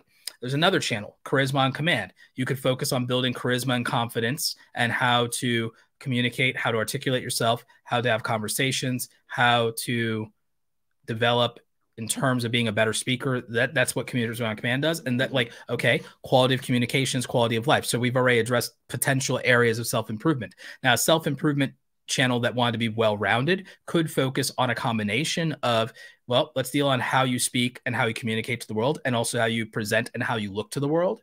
And then after that it could also um, focus on networking and relationships. And I think that'd be a good trio. That's a good trio. It's like, here's how you look, here's how you sound, and then here is who you put that in front of. That's a really good trio. That's a strategy. So again, I think it comes down to you have to decide on how to serve people and how to figure out specific problems. That's called a content strategy. Again, one of the reasons people hire me is to get clarity on their content strategy because it's very difficult sometimes to like figure out what the right combination of things to make is and also to get it narrow enough and focused. But again, a real great value proposition is like, hey, if any man wants to improve his life and he just focuses on these three things, how he looks and presents himself to the world and everything, and dressing like a man of taste and confidence and dressing for his body type and understanding um, fit, fabric, and function, that would, be okay, great. Boom. Easy value proposition. That's one bucket. Hey, speak to the world as a man of intelligence, speak with confidence, speak with authority, speak with clarity, say what you mean, be a man of your word. That's like, okay, communication is a really good bucket in addition to personal image, style, appearance, fashion, like image and communication. Those two things alone get you further in life. So if you wanted to help develop black men, you could do that. And then beyond that, you could either then focus on the component of the traits and values of um, men of distinction, men of status, men of confidence, or you could focus on networking and the fact that networking opens doors and that you can use that in every and every aspect of life. So you could do a content strategy that is predicated on this is a specific system to develop and to improve. And so I would focus on if you're going to make a channel like this that's like, oh, I want to teach self improvement, I want to teach personal development. That's generic and it's a dime a dozen. Build a system that produces results for people by focusing on three or four key areas of their life.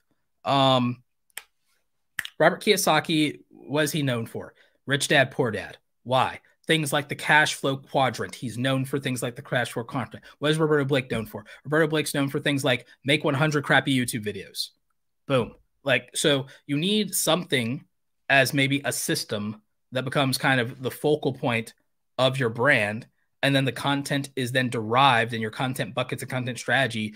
If it's a self-improvement channel it should be built on a self-improvement system. It should be built on a self-improvement system that says evolve as a person as a human being in these three to four areas functional in your life and your life will improve and you will see results. And here's how and why. And then you distill from that. So that would be that'd be my advice uh, fix it on the way. Thank you for the five dollars Canadian. I appreciate you. Josh Friedman, really appreciate your streams, Roberto. Can you do a breakdown of We Are Change? We Are Change. I'll take a look. I have to vet these channels to make sure it's nothing out of pocket. Um, so I can look at We Are Change, and I can see. This heads up, I probably will avoid any channel that's political to some degree. News is what somebody somewhere wants. 855k subscribers. Okay. Uh, they have a pretty good logo.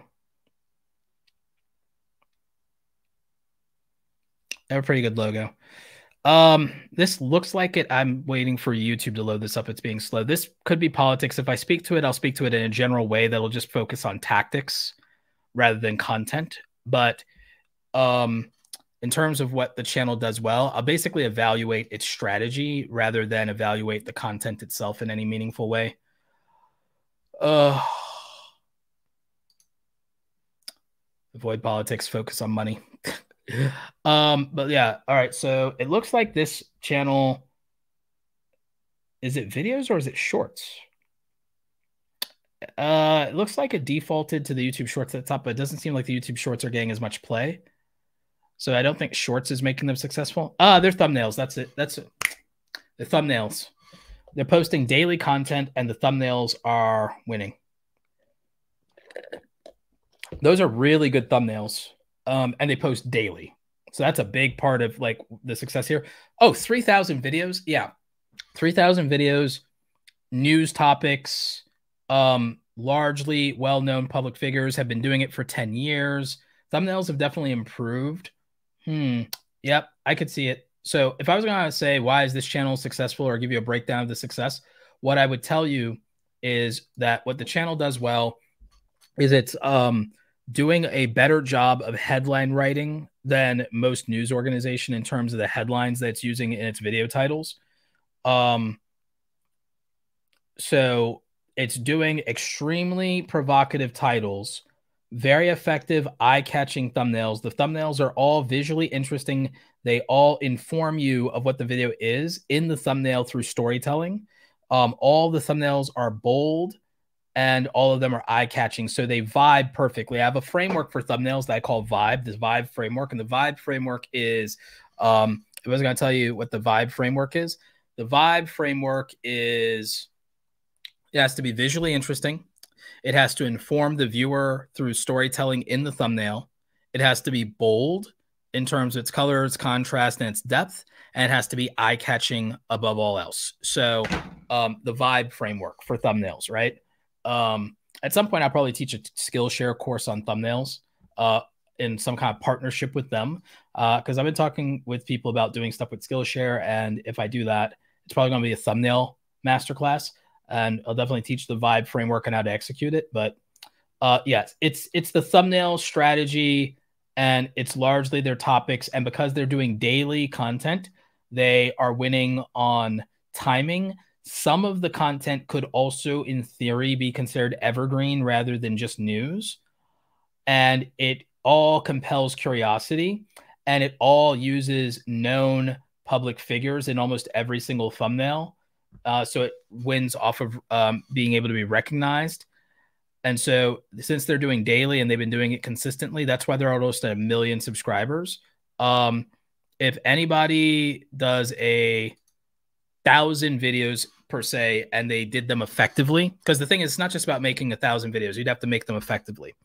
If you make a thousand videos and every thumbnail passes the vibe check and has a four out of five or a five out of five, and if most of the videos, if 80% of the videos are evergreen and 20% of the videos can capitalize on the timing and ride a trend or a news topic, that's a really effective topic title, thumbnail, and timing framework. So to reiterate that, if the thumbnails pass the vibe check and the topic is still one topic as in one one thing that an audience cares about, it doesn't have to be news.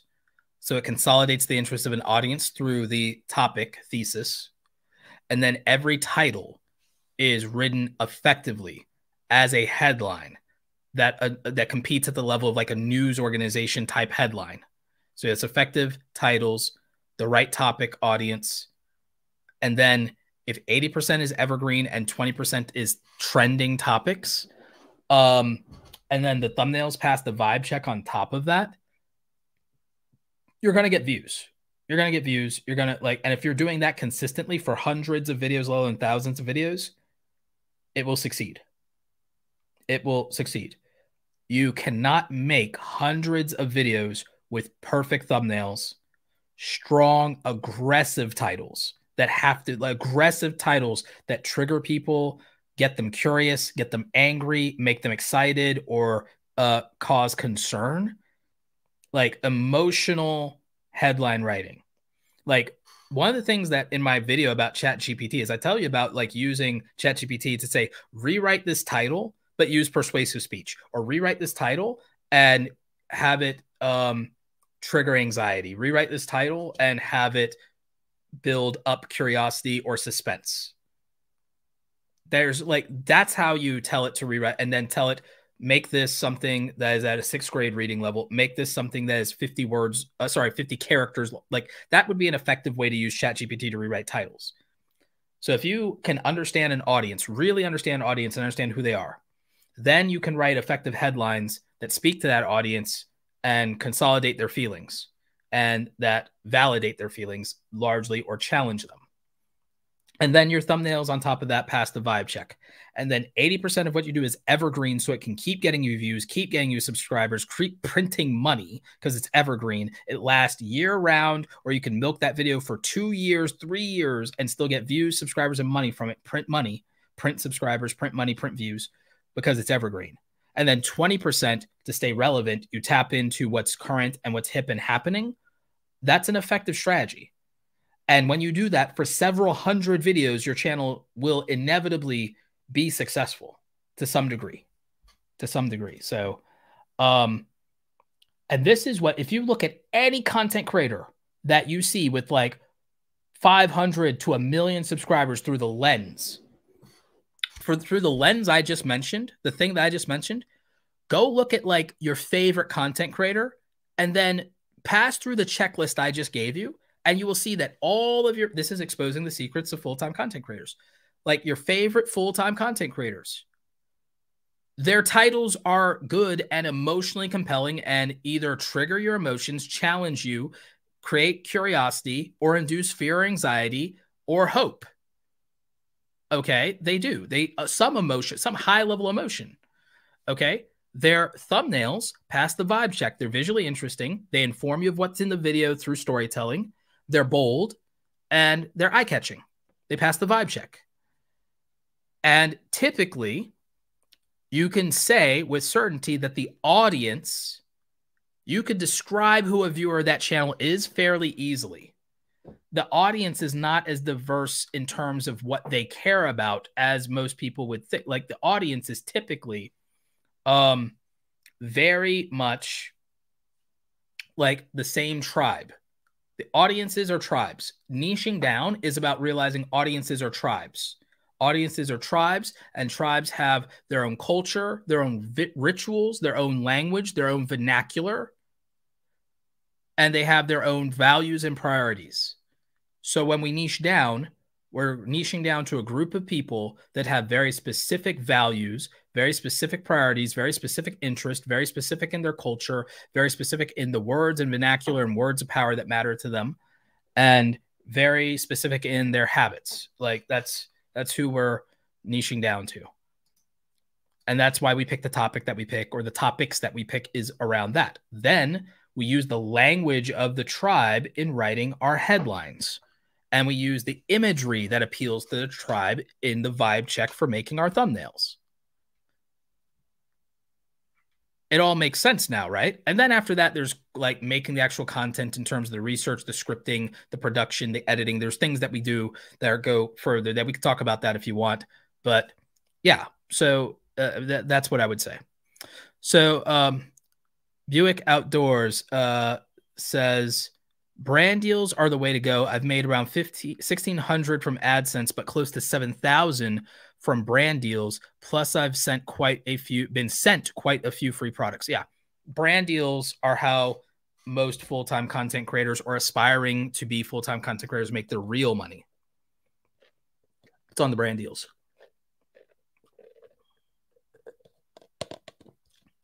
It's on the brand deals. Um, aside from brand deals, I would say a lot of it is then either affiliate marketing, which can be really good. A lot of you do not use Amazon's influencer program nearly enough. You could be making a couple hundred bucks with that.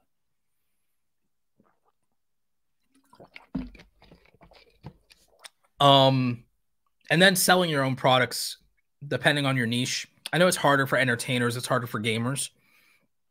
If you're an entertainer and a gamer and you're like, oh, it's really hard for me, I can't make a digital product or whatever, get really good at making print on demand products, but don't make it about you and your logo. That's what people get wrong in the entertainment niche. You need to make an actual like clothing line. Make your merch. You need to think about what's a clothing line look like and how do I make the dopest clothing line? Maybe I don't do it myself. Maybe I hire designers on Fiverr or something like that and I build out a real good clothing line. I invest some money up front in this. And then what if I make it so cool that it's not just for my audience, but it's for anyone who's in my um, demographics and then you build like a real e-commerce business about it and you you go that route right like make like a real thing that people would really care about and be invested in then also a lot of you don't realize there's really good margin in making posters there's really good margin in making posters compared to making t-shirts and hats and hoodies it's really good margin on that that was kid. Do you have a video on how to properly use TubeBuddy? I feel like I'm not using it properly and thus wasting my time and money with it. I actually have an entire live stream like this one on how to use TubeBuddy properly.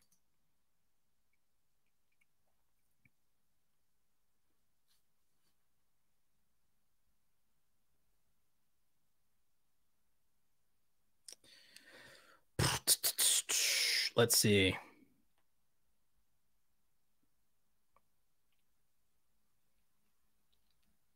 Thank you for the super sticker. Appreciate you.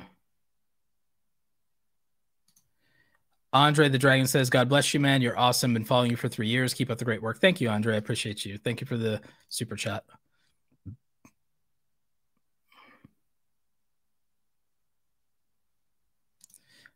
Roberto, your live is so focused, no blah, blah, blah rant. Uh, thank you so much. Yeah, I try. I really do try.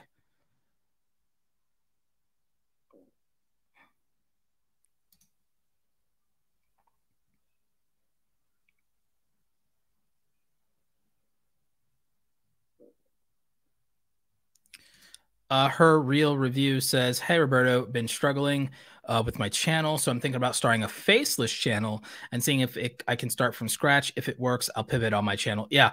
Um, with faceless channels, the good news is like people. The good news about faceless channels, I'm making a video about this specifically, is why you should start a faceless YouTube channel. Is I think that with faceless channels, you can take more risk, and you're worried less about being judged if it's a faceless channel the anonymity, I think it gives you the ability to have more risk, um, take more chances. Also, I think that you can divorce yourself from the emotional part and being bored and say, I'm gonna just do what works. I'm gonna be ruthless. I'm gonna do what works. I'm gonna make this channel effective. I'm gonna just do what works. I'm gonna just double down. I'll make 20 of the same thing if I have to. I think it's easier to do that when you're a faceless YouTuber because I think that you can divorce yourself more emotionally from being invested in aspects of it that aren't working for you and say, I'm just gonna do what works. Um, so I feel like that can be pow- a powerful way to go. Sewing reports like I'm at 100K and it's just me. I don't plan on bringing additional help anytime soon unless something drastically changes. Yeah, I'd agree with that.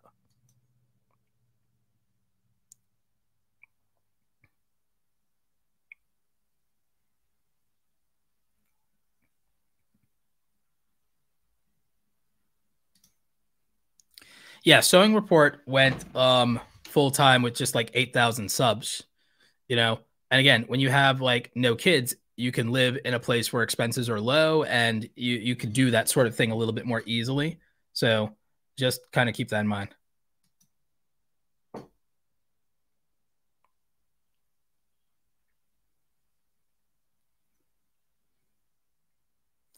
Yeah, and YouTube can effectively market um, a business. Um, Charlotte Ann Moore says, "Why do you still edit your own YouTube videos?" I'd say this in all modesty. I'm I'm gonna say this in all modesty. I'm not saying this is purely um, a brag or a humble brag. I still edit my own videos because I'm one of the fastest video editors in the entire YouTube community.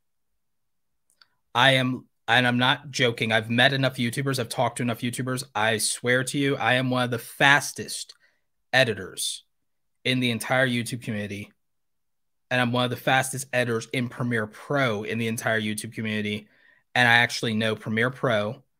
I am intermediate at After Effects. I'm effective at green screening. And because my files are so large, I shoot 10 bit 4222. I, I shoot 4222 10 bit.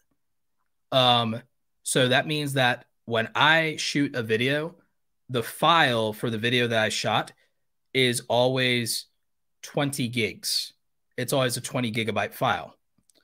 And so when I'm using, because I shoot it um, high bit rate as well, I shoot it um, high color depth, high bit rate, and 4K.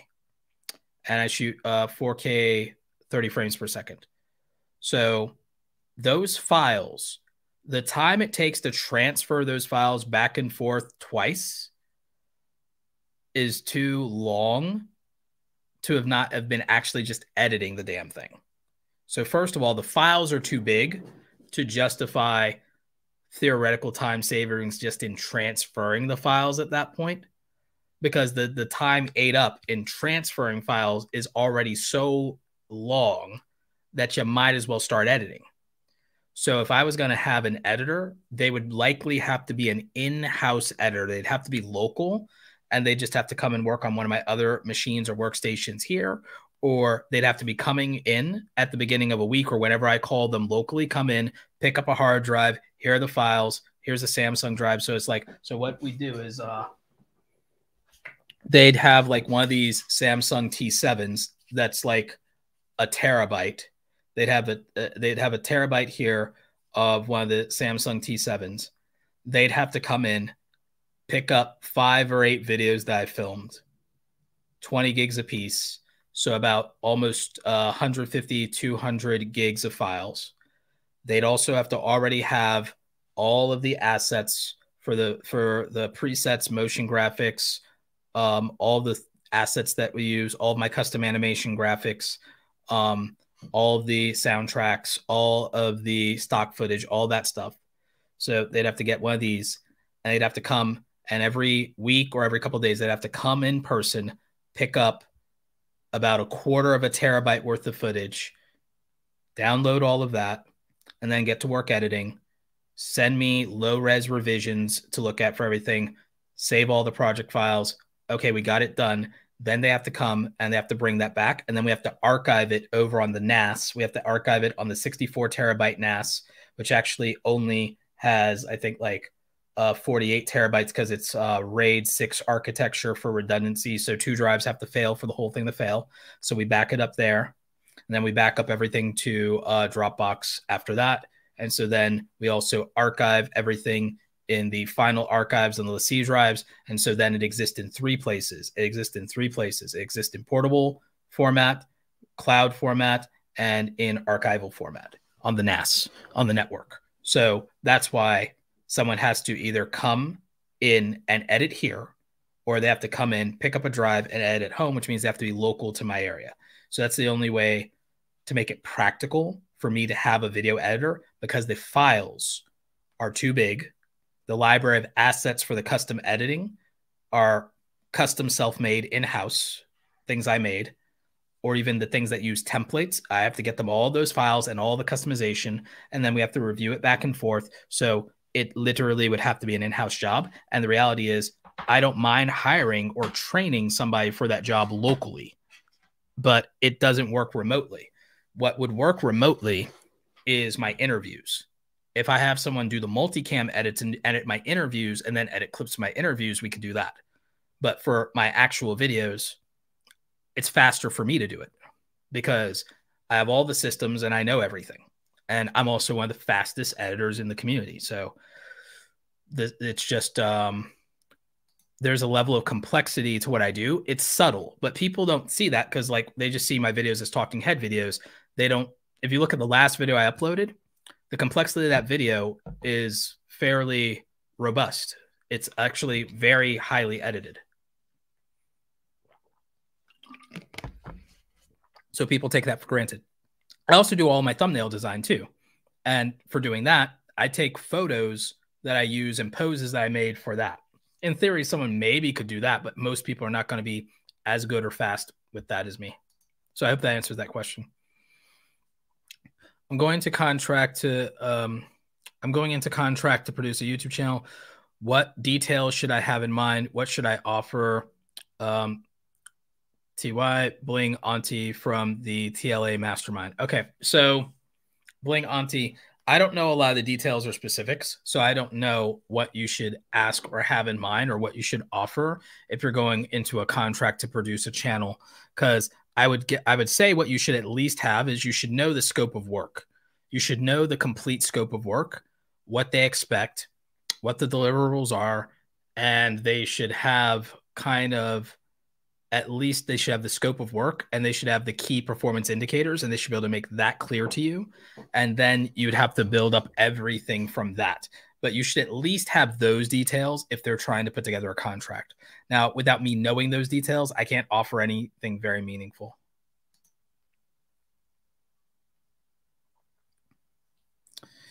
Um, can you do an entertainment personality type channel like Unwine with Tasha K or Lovely T. Those are basically um, celebrity gossip blogs. There's not really anything to unpack there. I'm not saying they don't have a strategy. I'm saying the strategy is BTMZ. The strategy to that is BTMZ. There's not really anything that meaningful to unpack there. Um, to be honest with you, nothing that I haven't already said.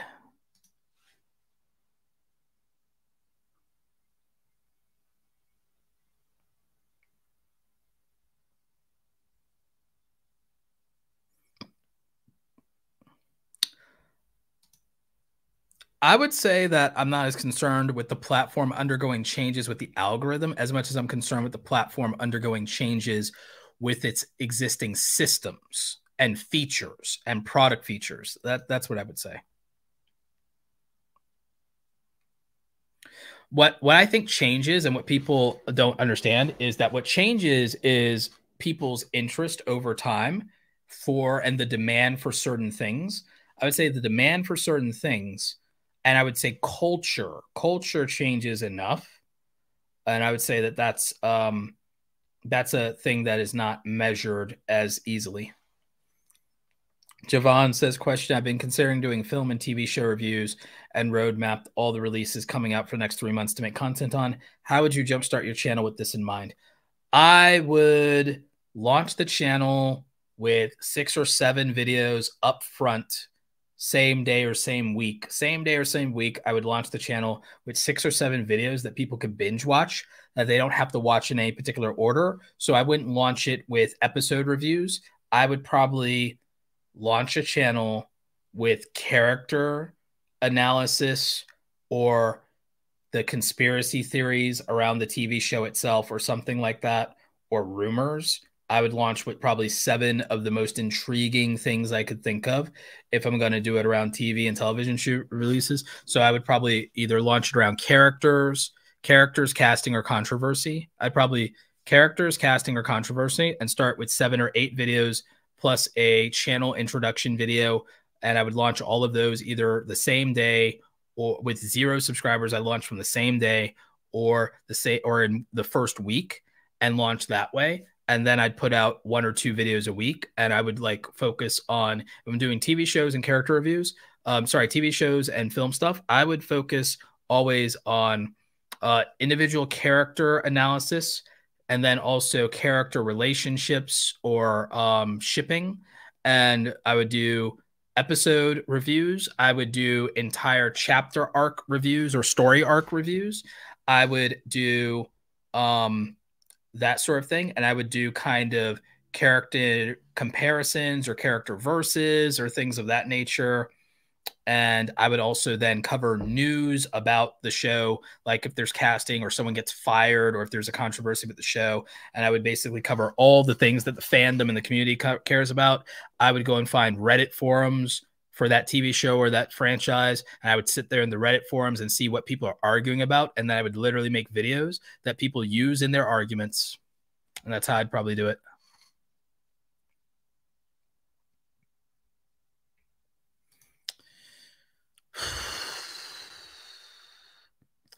Kenneth Kenneth De Silva says, Roberto, I'm trying to transition niches. What is your advice on the best practices. I'm a 2K sub channel. New niche is not too far removed from the previous one. Um, then I would just do it, but I would just start going heavy on quantity of that thing. I would make the same amount of what your current niche is for now, and I would make double the amount of what the new niche is going to be. That way, I'm not taking away from the previous audience for now. Then I would slowly start to ramp that down a little bit. And then I would normalize the new thing because you're small enough for it to not really impact you that much. So that would be my advice. That'd be my advice. That way you can still fill out enough inventory to justify moving on for that audience to still have been served enough.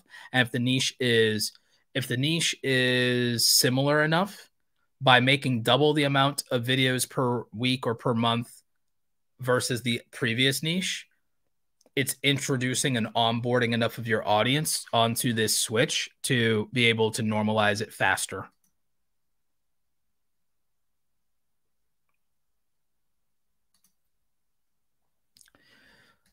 Mike's Universe says, Is it possible to be approached by a brand as a shorts creator? I recently reached monetization requirements. Thanks and advice for the advice you give.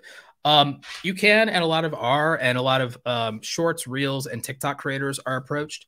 Um, the biggest problem I see in the community is that actually a lot of shorts, reels, and TikTok creators don't disclose their brand deals and follow the FTC guidelines for brand deals and integrations. A lot of them are just like glossing over that. There are some brands that are actually even paying influencers and telling them not to disclose ads and everything, which is really messed up. And brands shouldn't be getting away with that, and creators shouldn't be doing that. But most creators in the shorts, reels, and TikToks don't know any of this and are not familiar with brand deals, not familiar with the etiquette, not require not familiar with what they're legally obligated to do and to um, disclose.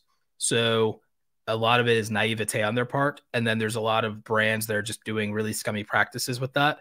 So what I would say is yes, it is possible, and a lot of creators are approached as shorts content creators, reels content creators, TikTok content creators. But you have to also be careful because brands take advantage of smaller creators. Like brands take advantage of small YouTubers and small content creators, and they take advantage of new content creators who don't know any better. And uh, that's one of the reasons I started going a lot more on brand deals content. That's why I did my brand deals workshop. Is there you don't know what you don't know about these things, and brands can get over on you. They can underprice you. They can lead you astray. They can scam your audience. Um, so, like with smaller content creators, the lack of experience can hurt you sometimes. And sometimes it's better to delay working with brands until you feel confident about what you're going into and until you know you can read a contract or unless you have help with those contracts to read them and review them to make sure everything's on the up and up you have to research the brands you work with you have to do your due diligence And that can be overwhelming when it's like, oh, I just want to make videos. It's so a lot of people just get into trouble because they could be naive about these things. They could be new, they're rookies and they're taken advantage of. And it's just not a great situation. So so just be aware of that. But yeah, you could absolutely get brand deals as a shorts creator. It happens all the time. Just be careful. Um, Cleanser says, What digital service could you provide to people as a gaming channel? I do coaching now, but are there others? Um, it depends because there are sub niches of gaming. If you offer something to other game streamers, that would like you could offer graphics to other game streamers as a gaming channel. As a gaming channel, if it depends on the game, there are games that have digital goods that people would buy for buy. Um, so there's things like that. And there's print on demand products that gamers would buy if you came up with stickers that make sense, or if you partnered with a company like dbrand and you make some skins, or if you find a way to build your own. Look, if I was a gaming YouTuber, all right, this is the this is gonna be. I need to clip this somewhere. I'm gonna need to clip this somewhere. Here's my answer to a business model. Here's what Roberto would do if I was a gaming channel. If I was a video gaming channel, first of all, I would not be a damn Let's Play channel. I would like, I'd be like, no, I'm not gonna be a Let's Play channel unless I was probably doing Minecraft. Unless I was doing Minecraft or Roblox, or unless I was like the greatest FPS player in the world or the greatest speed runner in the world, I would not do Let's Play content. I would because it's every every 15 year old, every 16 year old does it, and then it gets a bad rap. And it's like, and if you're not the best in the world, there's not really a point. Unless I'm also gonna unless I'm gonna be a tutorial channel, right? So I would not be a Let's Play channel. I can use and leverage Let's Play content without being a Let's Play channel. So I would be a channel that uses gameplay and mods, and I would create interesting stories because I would mod games and then use them to build storytelling and build things that people would want to watch. So I'll give you an example. I would do Grand Theft Auto and I would use hella mods and I would um be Rick Sanchez and get a voice modifier, and I'd be Rick Sanchez running around in GTA, and I would do a role play series and a comedy role play series where I'm Rick Sanchez in G, but uh, in real life in GTA 5 with a voice modifier and everything, and everything. Or I'd be doing what these new people are doing, where they're like taking like Barack Obama and Joe Biden and Donald Trump and having them like kind of play video games against each other using voice modifiers and deep fake voice. So I would use deep fake voice to make interesting stuff like that or something if I was going to do let's play footage to make my content because that's actually kind of innovative.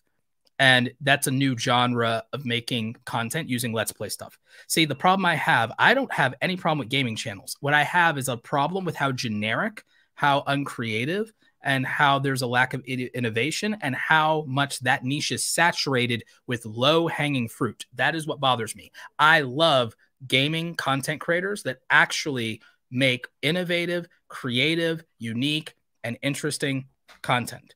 I love people who do that.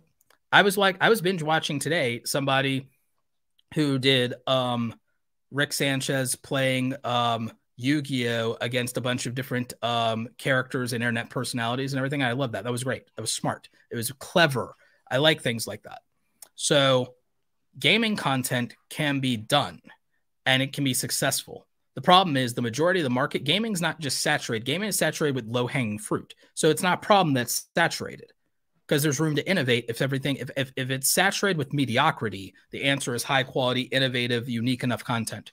So what I would do is I'd make content more interesting and unique by going, okay, I'm going to use mods, for example. So that's one thing I would do. Now, in terms of how I build a business, once I have all this traffic because I made this unique content, is I would build a gaming brand around culture, which means that I would build a clothing line that is more about gaming culture than not and not about trying to piggyback off of the existing IP of any game. I would not sit there and know that I can be copyright claimed, copyright striked, or takedown or trademark sued by making t-shirts and hats using somebody else's characters. I would make I would make a clothing line that appeals aesthetically and culturally to gamers and I would lean into meme culture. I would lean into meme culture and I would do that.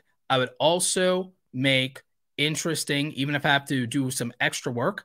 If I was a fighting games channel, I would make um, like wraps and I would make uh, custom wraps and skins for the joysticks. Like you, when people have custom joysticks for themselves for fighting games, you bring your own sticks. I would have custom graphics and things for that that do not use anyone else's intellectual property, but are still so well designed that people will want that and people would do that. I would make a deal with a company that produces custom um, you know sticks and do some joint marketing venture with them and get uh, a licensing deal and get a cut of all sales of these physical joysticks that they sell. I would find a third party controller company and I'd probably try to make a deal with a third party controller company. Or I would get a brand deal with Backbone if I was a mobile game content creator. Um, you know, for the where they make the controllers for your phone. Okay. So I would do that sort of thing. All right. So I would do sit there and I would figure out how to make a clothing line that gamers would care about. And I would make an accessory line for the products that they already have by making custom skins for the Xbox, PlayStation, and Nintendo, respectively. I would do my research to make sure that I'm properly licensed to do that. And I would make these custom skins and I would do them, and I wouldn't necessarily have to use characters, I would use aesthetics. And so I would do that. So that's one thing I do. And those are physical products. And then on the digital product side, on the digital product side, if I wanted to do digital products, I would be in a game with a digital economy like Roblox or even Minecraft. I'd be in a game that already has a digital economy, and I would be leveraging the digital economy of the game.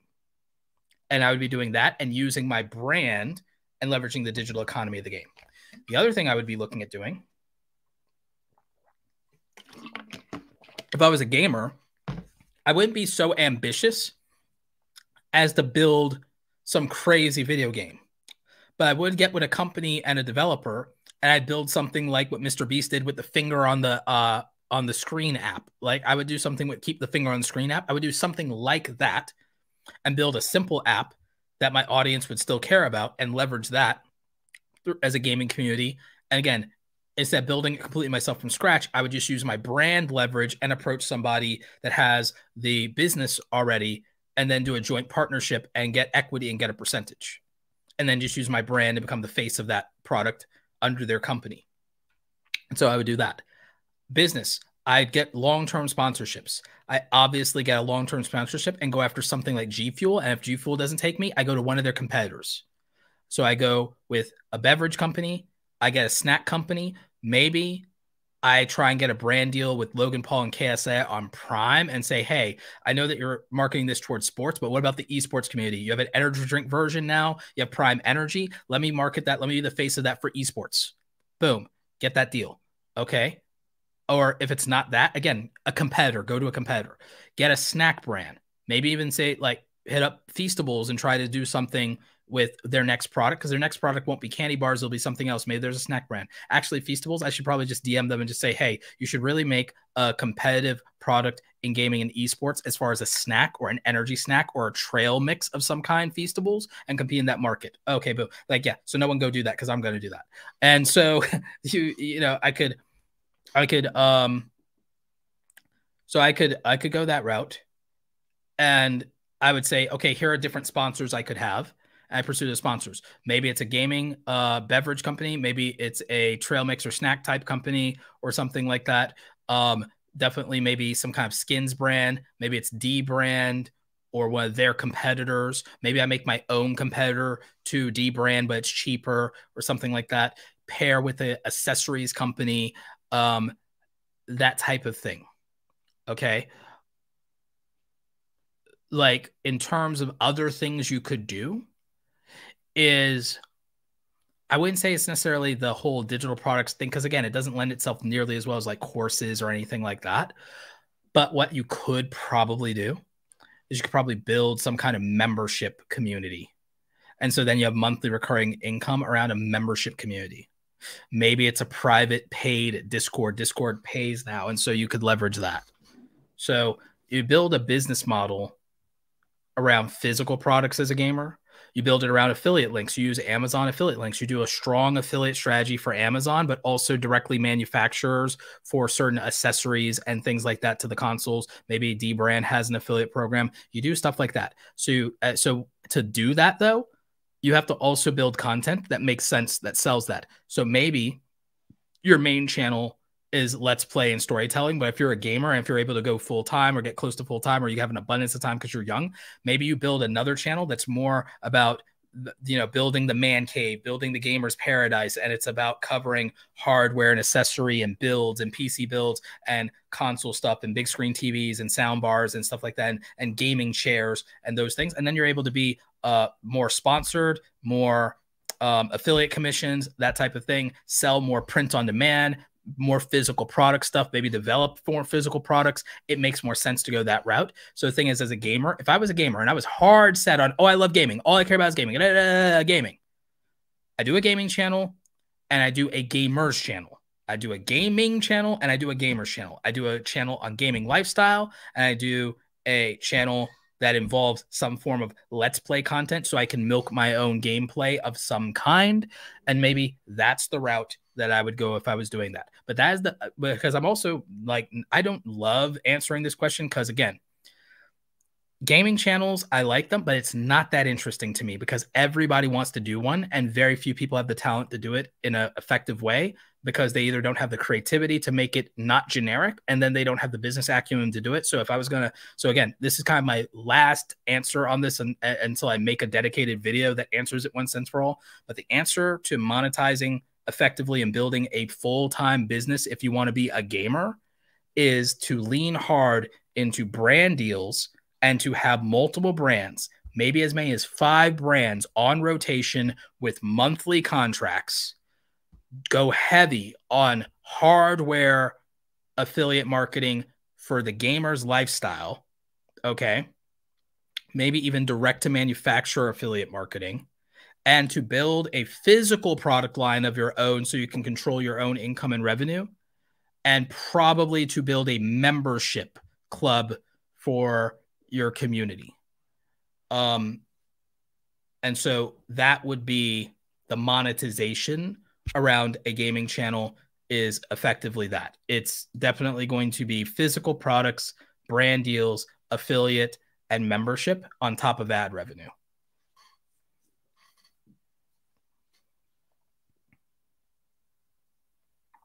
So I hope that answers that question more or less once and for all. Like once and for all. I'm gonna have to obviously make a video or clip this for the gamers out there.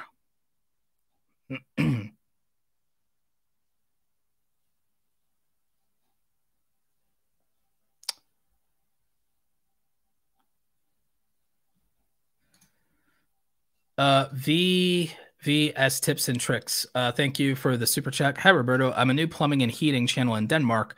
I look a lot to Roger Wakefield. Yeah, that's a good friend of mine. I'd love to hear your take on his channel. Uh, my friend Roger Wakefield started his channel as Roger the Expert Plumber, and he started teaching people how to get into the trades. Then he became very much an entertainer and became Roger Wakefield himself instead of just Roger the Expert Plumber.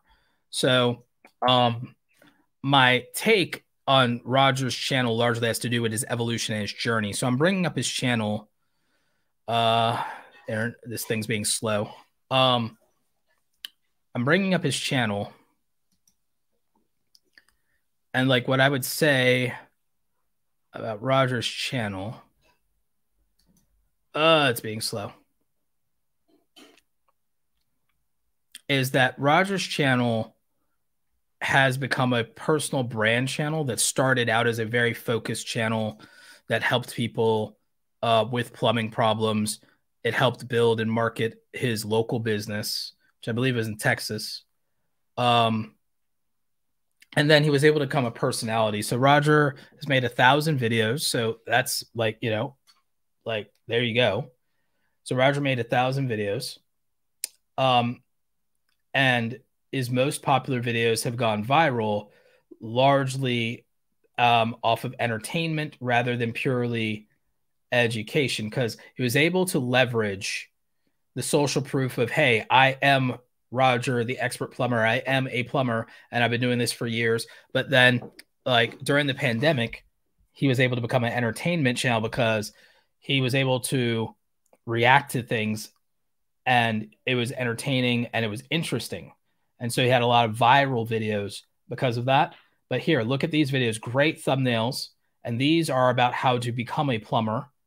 They don't get as many views. Roger can get millions of views if he entertains you. But for the education side, that speaks to a smaller amount of people. But it's still important to him. And it's also important for a larger mission of the trades. And so he does this. Here are the basics of plumbing. And you can see that these don't get as many views. Um, but there are interesting things where I make a lead and oakum joint. That is something that is very applicable. And same thing with the soldering thing. So, like, instead of how to or career, those things solve wide sweeping problems that are usually big. And same thing for these DIY plumbing tricks and tips. So, again, you can see that the tips and tricks videos solve instant immediate problems that happen like every day so they get like obviously they get more views because it's an everyday problem so that's why the diy stuff works. And it's highly uh, utility. Um, long term everything you need to know about water heaters water heaters are a big problem for a lot of people. They're also an expensive problem and there's very few videos that are produced around them in high quality. So that's where roger has won is he makes high quality, very highly edited videos around these problems that are um, very expensive and intensive to deal with. And so that's where these get high views. But some of the videos he's doing now, they might do better in the future. They might be do they may never do way better in the future because some of the videos he's making right now are not the videos that you get big views off of, and you can see it here. And a lot of people would think, oh God, this is so bad and the views are so bad. No, it's like it'll be fine. Because again, two weeks ago, he made a video that got 100,000 views. Um, the, this Fabuloso video might do better later because there's a trend right now because there's a Fabuloso recall. So, first day on the job, here's what to expect. This is a really high quality video that's about the trades and the career. So, again, Roger will make videos that are largely about his mission of helping people get into the trades, and those might underperform, but they're something he is not only very passionate about, but that matter uh, for society. I would say that there might be more effective titles for the videos that serve as mission, but they will reach more people, but they're not the people that they're meant to help. So that is the trade off with what if I wanted to have the biggest YouTube? Because there's a difference between the strategy that gives you the biggest YouTube channel and the strategy that helps the most people. There's a difference between the strategy that grows your YouTube channel the biggest, makes you the most money, and the difference between that and well, what helps people the most. Um, and so for a channel like Roger, you can see that every month there is a banger video, but there's a lot of videos that are either slow burners or not going to get views in between, but they are massively helpful for the people who have that problem. So um, there's nothing wrong with the way Roger's doing his YouTube channel. It's just the nature of making a choice because even early on, his channel was largely helping a lot of people uh, do really well with uh, certain problems in plumbing, do it yourself, or getting into the trades. However, his channel blew up and got big because of some of the entertainment value and what Roger brings as a personality. Roger would be at a million to two million subscribers if he became purely a personality, but he has a bigger heart and a bigger mission than that. And I think that um, the videos that underperform are kind of a labor of love and they're him being charitable because he could really just do what works the best. He knows how to do that. He could just do what gets him the most views. And, and again, I think people would still love him if all he made was viral videos but I just don't think that uh, his heart would be in that. Knowing him as a person, I just don't feel that way. So I could always call and ask him. but yeah, that's my thoughts on Roger Wakefield. That was a like really good suggestion. Uh, Roger's a really good guy. And again, even my channel, like even with my channel, there's videos that will, yeah, it's like, oh, they'll get more views, but um, but like I don't always think that just because something gets more views doesn't inherently mean that it's a better video. It just means more people are interested. Yes, please. Let's get these likes up. Appreciate y'all. World according to Briggs. Thank you for the $20 super chat. I learned everything about YouTube from YouTube. I'm still learning six years later. Yep, facts.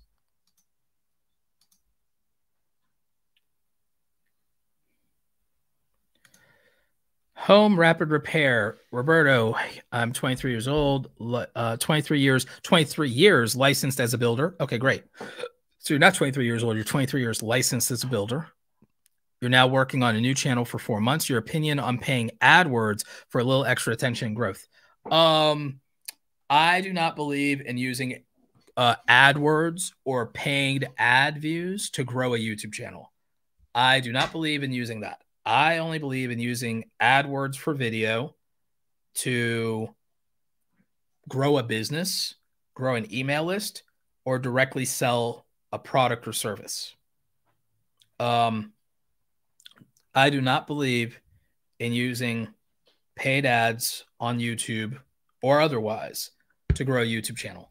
Even though sometimes YouTube will recommend this, but again, they have to because it makes them and Google money to recommend that strategy. But um, and I'll I'll give you a real easy, I'll give you an easy way to rationalize this on why you should not use paid ads to try to grow your YouTube channel. Has anybody here subscribed to a channel off of a paid ad that that channel ran? Has anybody here subscribed to a channel because of a paid YouTube ad for that channel? Honestly, and you're going to see there's not going to be a lot of people who will say yes. So, largely, you will not get the audience that you actually want by doing that for the extra attention and growth. You will not do that. If you want extra attention and growth, you know it costs you zero money, but will get you a better audience from that? Go on a few podcasts in your niche. Go on to a few podcasts in your niche. Be a guest, even if they're smaller podcasts. Go on to a bunch of podcasts for zero dollars, and you'll get more out of that than buying ads for your channel. You'll get more out of just going on other people's podcast than buying ads for your channel if you want a little bit extra attention, again, like the ads, it's not going to work. People do not um, care. Like when it comes to ads, it's hard enough to convert customers off of ads.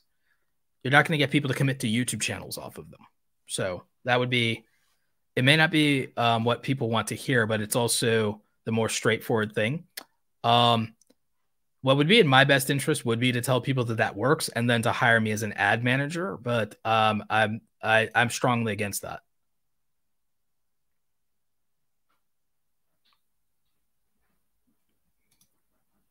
gmac tv um i already told y'all i don't want to do i don't want to do channel reviews for people paying for a channel review of their channel versus a breakdown on somebody else's channel. And I'm only going to do this one for G GMAC TV, but I'm also going to tell you viral, you like, you're probably young. That's probably why you think you want or need a viral video. I hate viral videos. I'm going to be honest with y'all. I hate viral videos. Viral videos are the most trash strategy in YouTube. I hate viral videos. Do you know why I hate viral videos? They are unduplicatable, they're unrepeatable, and they favor the rich getting richer in the sense that it's like if you want a viral video, you could spend a lot of money and you can make a viral video. Almost nobody makes viral videos that don't cost money anymore. And it annoys me because it just means that the strategy in YouTube becomes a like, okay, have a lot of money versus and that's why no one believes in grinding and working hard because all they see is people throw money at their YouTube channel and then blow up and get viral videos and grow. And I hate it. I hate viral videos. I despise effing viral videos because all viral videos now are is find thousands of dollars to throw at a YouTube video idea. And there's a lot of people that are going into debt And I hear horror stories all the time of people who go into debt because they're trying to make a viral video and they spend money they don't have and they go thousands and thousands of dollars into debt praying that oh well if i make a viral video it'll make enough in adsense and then i'll justify the video and everything like that. It's like that is a one in a million unicorn strategy that most of you have no business doing because most of you are working class content creators and shouldn't be doing that. And so because of that i now hate viral videos i hate viral vi- i'm I, am i am just being dead serious i hate viral videos i hate viral videos because it makes the youtube community all think that they can just buy their way to a bigger channel. And um, the reality is that from from the standpoint that I have, like if you're taking this seriously as a career and you aren't from a background where you have money like that, you shouldn't be doing that. But the thing is, people aren't convinced that they can grow without a viral video.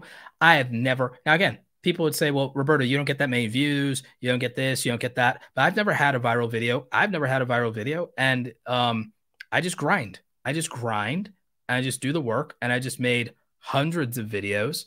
And I think that that's the, the answer for a working class content creator because, like, it's very hard. It's not impossible, but it's extraordinarily hard for a working class content creator to make a viral video because today what goes viral is not what went viral 10 years ago, what went viral five years ago, or even what went viral during the pandemic. It's extremely hard to do now to go viral without spending money. Um, and it didn't used to be that way, but that's how it is now. And that's what people are accustomed to now. So, um, GMAC, you don't have too many videos on your channel. And it's too all over the place because it's NBA 2K23, it's Madden 23, and it's Warzone 2. It's all over the place. There's not a consistent theme to it. The thumbnails are pretty good, but um, I think the reason that you're struggling, you're not doing that bad. You're at 81 videos and you're at um, 1,000 subscribers. I mean, that's better than what Mr. Beast managed to do. Um, I think. I think Mr. Beast had only he did 100 videos and he had like 780 subscribers. Uh, PewDiePie did 100 videos and only had 2,500 subscribers. So at 81 videos and you're at a um, 1,200 subscribers, you're not doing bad. Um, but your videos are too all over the place. You need to pick something. It looks like you're young. It looks like you're a kid. It's like you should probably just do this for fun. If you're serious, pick something. Like just like a major in college, if you're serious, pick something. And um, if you want to be competitive, you just have to make a higher caliber of c- content if you want to be competitive.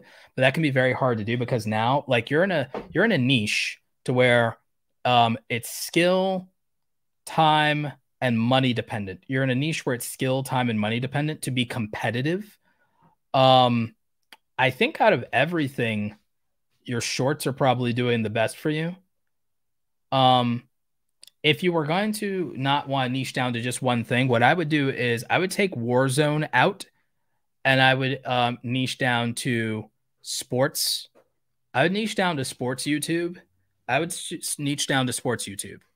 And if you're going to niche down to sports YouTube as far as sports video games, you go NBA, Madden, and maybe MLB or FIFA. Actually, forget NL, MLB, go FIFA.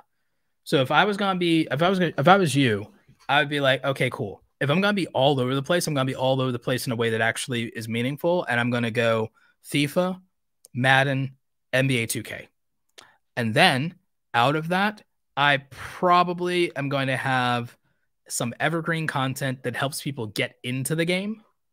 Then I probably do a bunch of the glitches, hacks, and things for the game.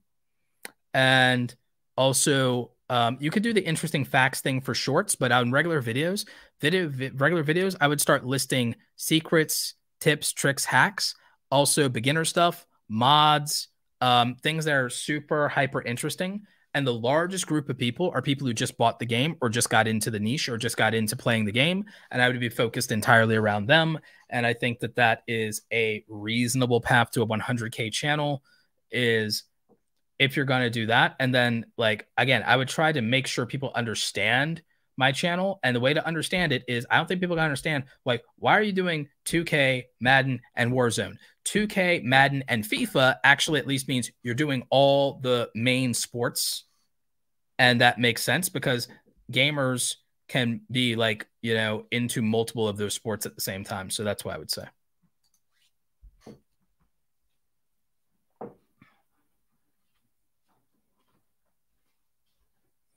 Yeah, just an FYI for people. If anybody else submits a super chat to review their own channel, I'm not reviewing your own channel. You have to ask me to break down someone else's channel.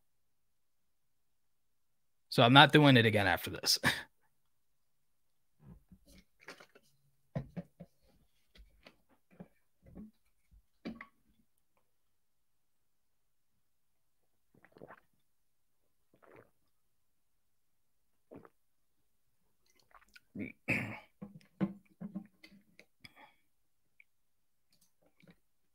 Roberto is correct. Just making content isn't a guarantee of success. Nail it down to what you solve and say it in a million different ways. Yep. Roberto is breaking it down. I try. Hey, Andrew Can. What's up?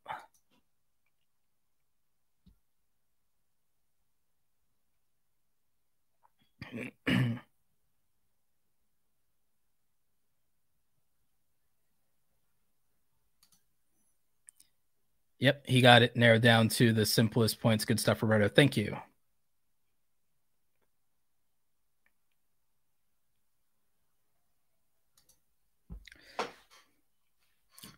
Nardvillian, hey, what's up, Roberto? I seriously appreciate you. I must admit, your journey of being a content creator is exciting, but it's not easy and can be damaging mentally if you let it be. Yep, absolutely. It absolutely can.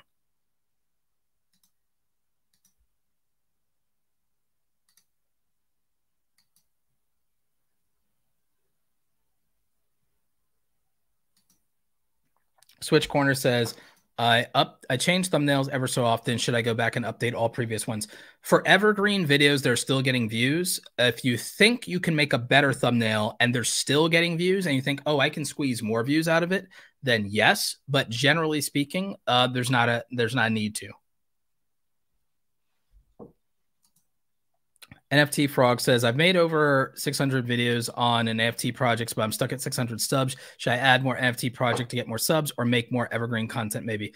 Um, you're not making what people want to watch if you're stuck at that number of subs. And it's also not building out a community. It sounds like you're making like stuff about like the NFT space that you're interested in versus not analyzing what most people in that space are interested in. So I would, I would pivot.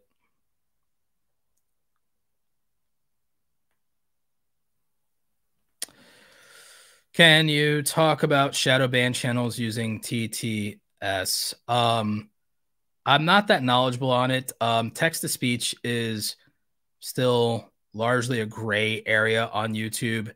Shadow banning is still a gray area. Like nobody has a lot of details on that. So I don't want to speak on that because I'm not educated enough to give you an answer you'd be looking for.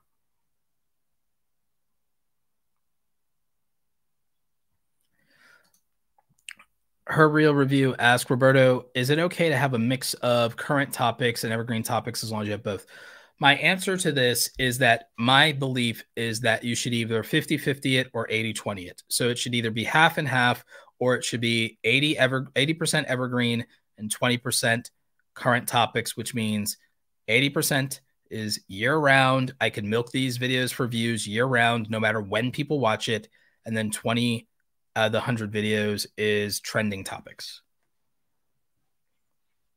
So that means you can probably actually capitalize on breaking trending news. Most people can only do that twice a month.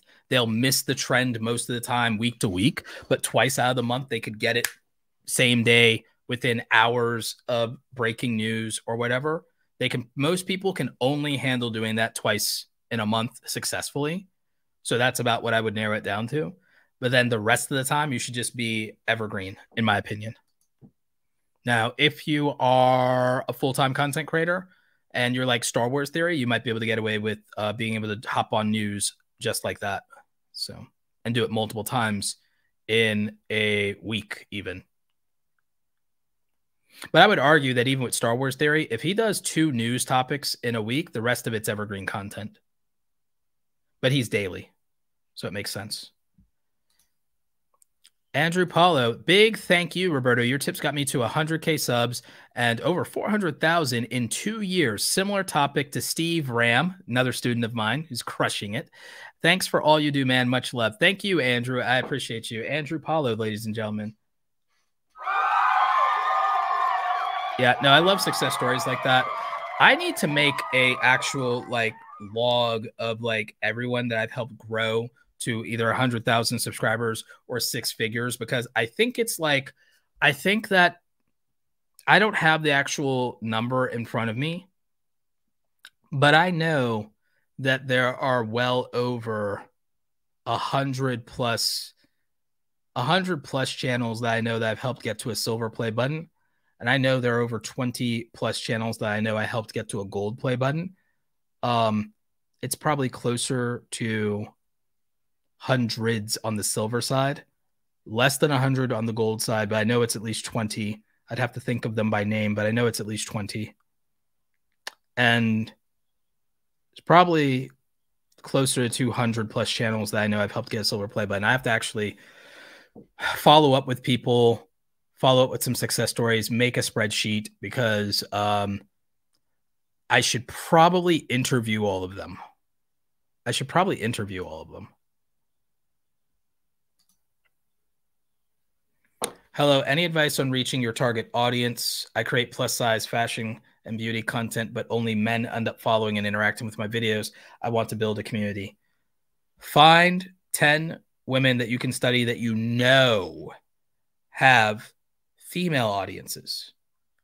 Okay, find find the women that you know have female audiences and study them. Reach out to some of them talk to them and ask them about how they built their channel, but also study their strategies and start making more of the content that they're making. And that will probably help you.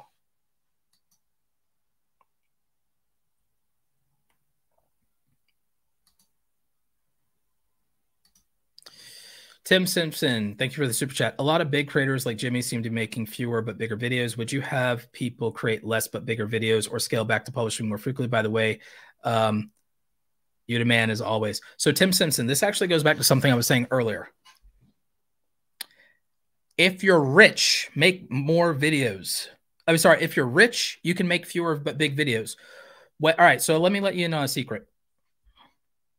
People that are like over 10 million subscribers on YouTube that make less videos have a team to such a degree to where one video from these people has over 1,000 hours of work behind it.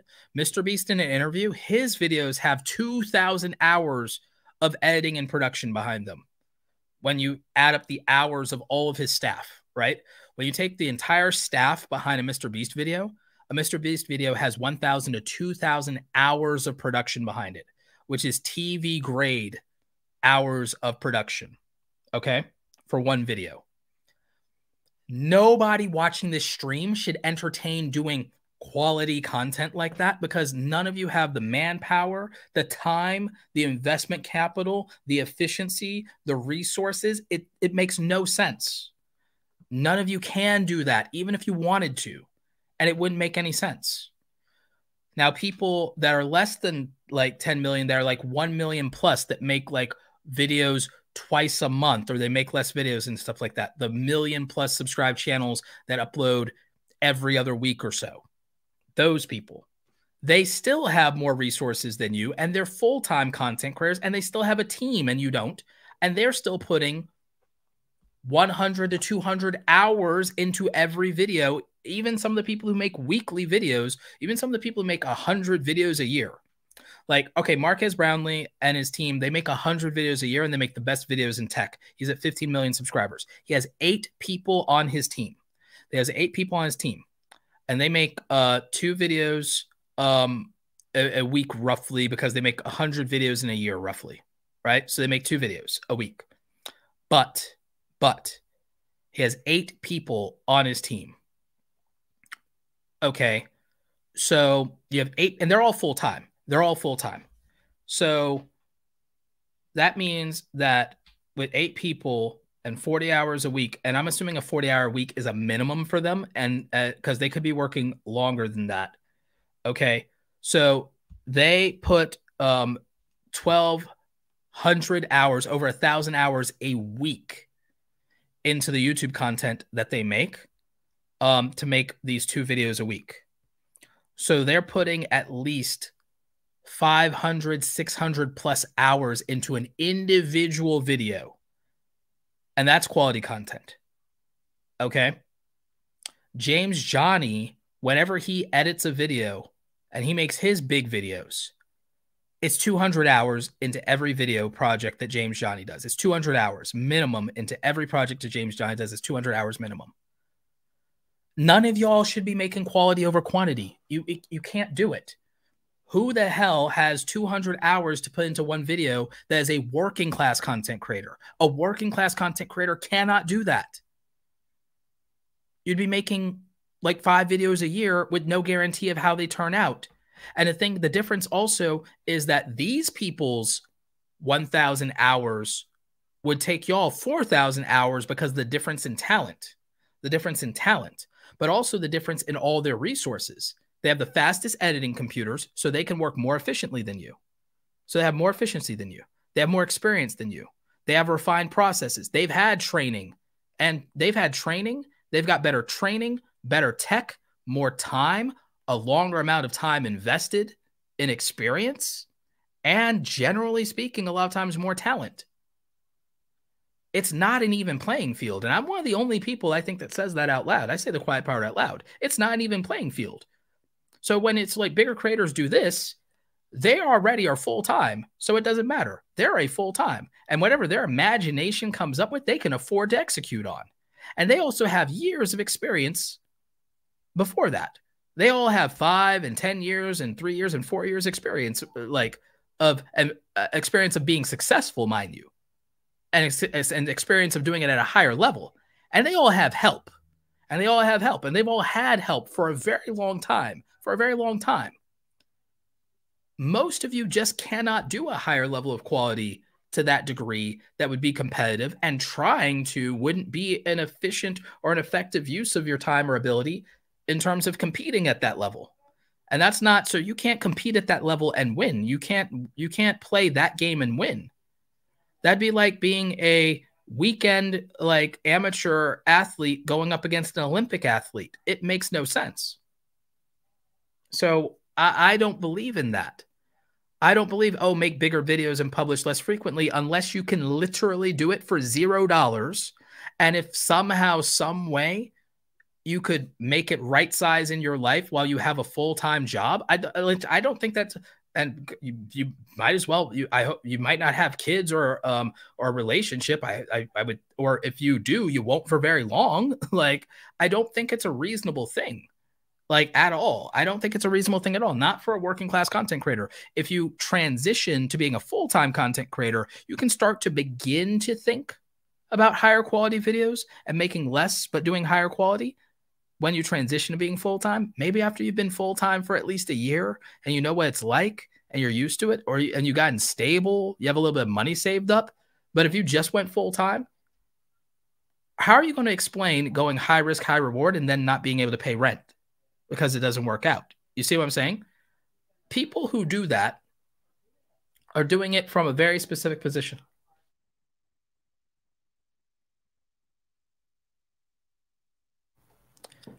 So like people people doing that are doing it from a position that's radically different than the people watching this live stream right now. People doing that are from such a completely different world than the people watching this live stream right now, which is why I don't think that that's like, I don't think that that makes sense to do. I think you can do that though if you literally are a kid who doesn't pay rent, lives at home, and you got nothing else, or if you're in college and you're on scholarship and you eat ramen, maybe you can do that. Maybe you can go big or go home. I think in theory, if your videos cost nothing because you do gaming, you could maybe just put more hours into the edits and call it a day.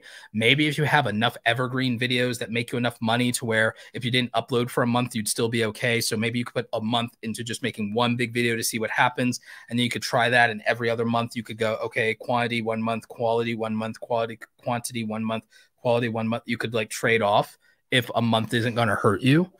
If that's a big if, though, that's a big if. But like, because again, you have to remember when Mr. Beast was a working class content creator, he didn't do that. Like he didn't do this advice when he was a working class content creator. He used to live off like a dollar a day. He was a kid. He was living at home though, and he put all his money back into his YouTube channel. Same thing he does now, but he didn't have to pay rent. So that like that makes a difference. When you don't have to pay rent, you can take a lot of risk. The other thing is he was do- he was doing qu- quantity because he was trying to figure out what would work, and he did a bunch of that. Figured out what would work. He was making money every month off of some of his viral videos that he made for cheap uh, and I wouldn't say those were necessarily bigger videos. They were just riskier videos, but they cost him zero dollars and he was still making quantity at the time, not quality over quantity. He was figuring it out. So even that advice wouldn't have worked for Jimmy when he started. And it didn't work for Jimmy when he started. When he started, he had to be quantity and he had to figure out something sustainable. And he had to somewhat, to some degree, stumble into what could work in a reasonable way to justify what he was doing.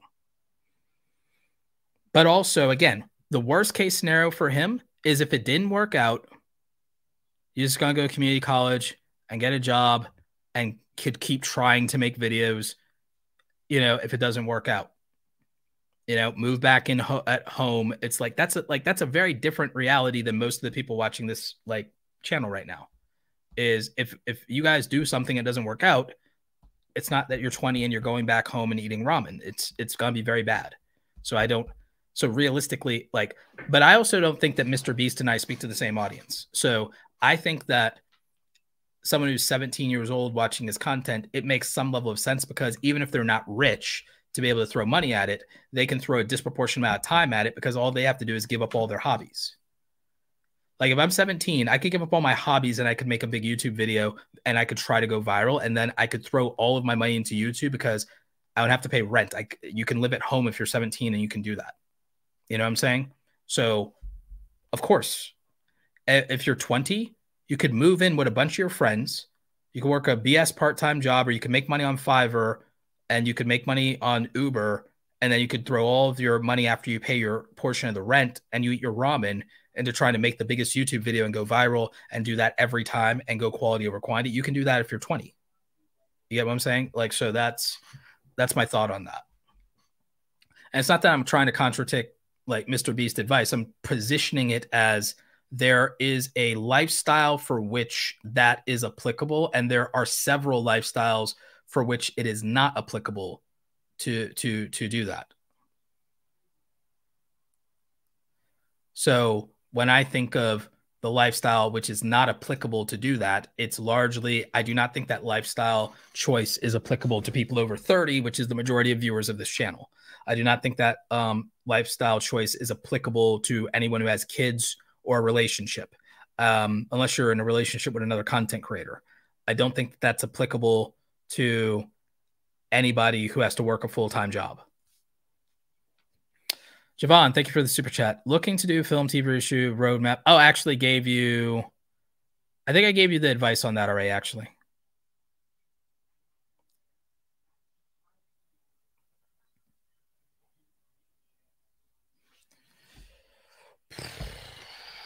I need to start winding this down. Eyes are getting dry.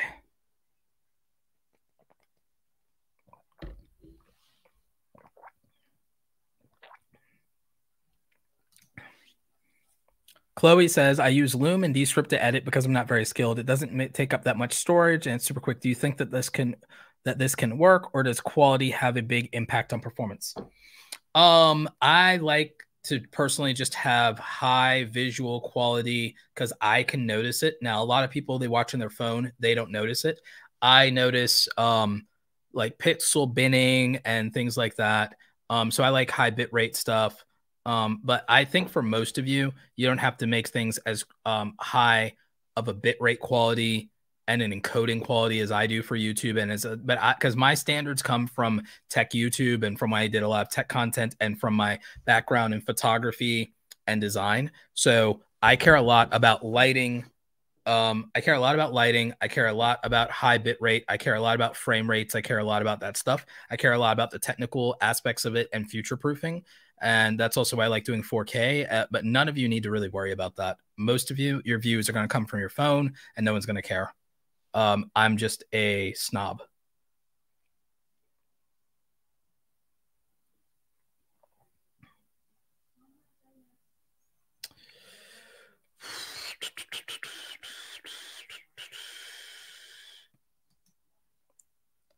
Uh, what made you choose Premiere or Final Cut Pro? Uh, I've been an Adobe person for 25 years.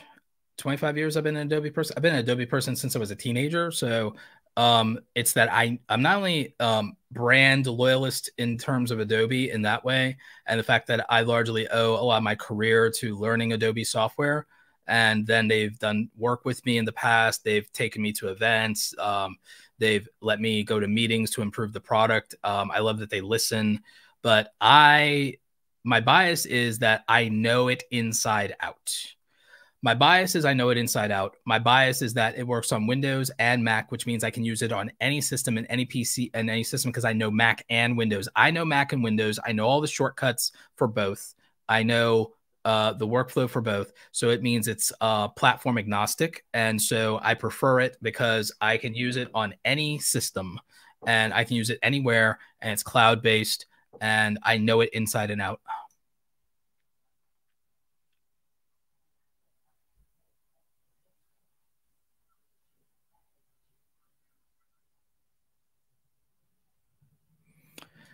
Um, until YouTube rolls out for everybody, and we'll see if they do roll this out for everybody. They're rolling out the ability to have multiple language tracks similar to closed captions.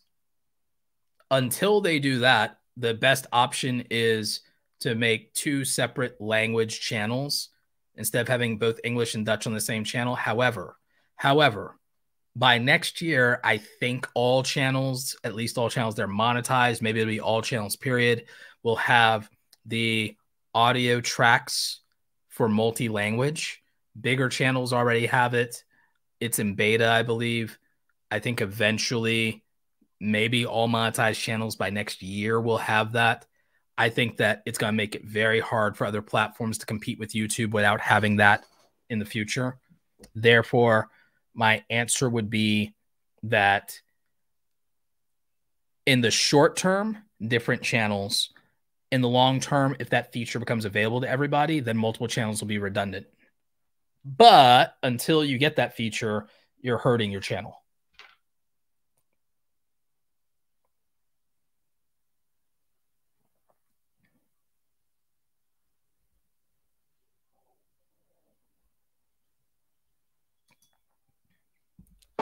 Right conscience says um, with the infinite subscriber system should i build uh, 50 videos on one topic at a time or 50 videos each on the three to five topics at a time? I'm focusing on authors.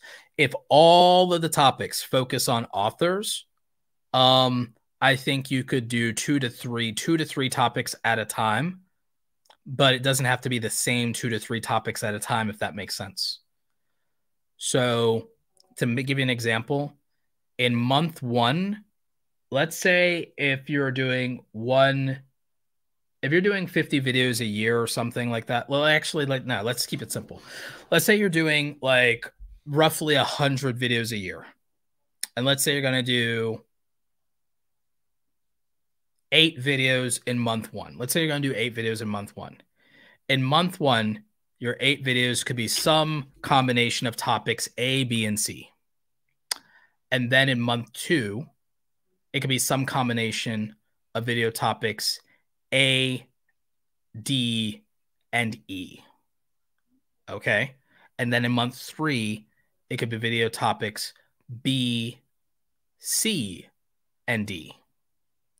And then in month four, it could be video topics C, D, and E.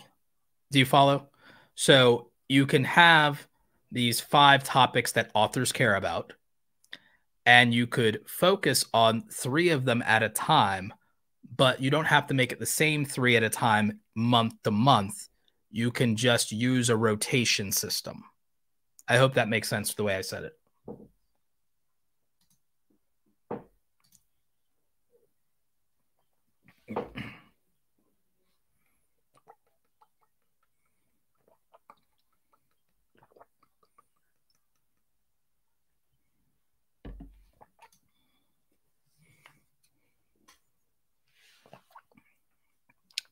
Twana Yvette says the case I was reporting on has ended and I have to change my content. How do I change my content without damaging my channel?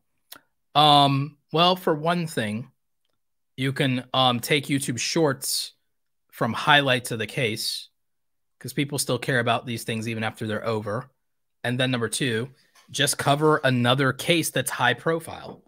Cover another case that's high profile that a lot of people are interested in and just go with that that would be what I would uh, suggest.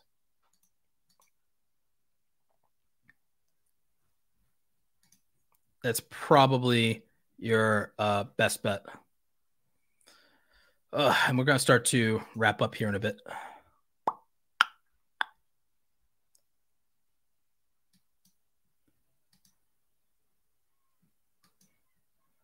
Whew.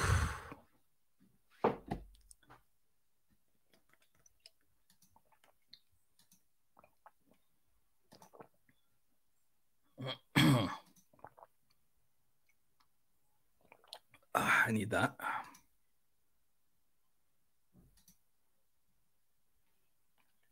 Opinion on marking your channel outside of YouTube from zero subs. Thoughts on making search and browse based content from zero subs.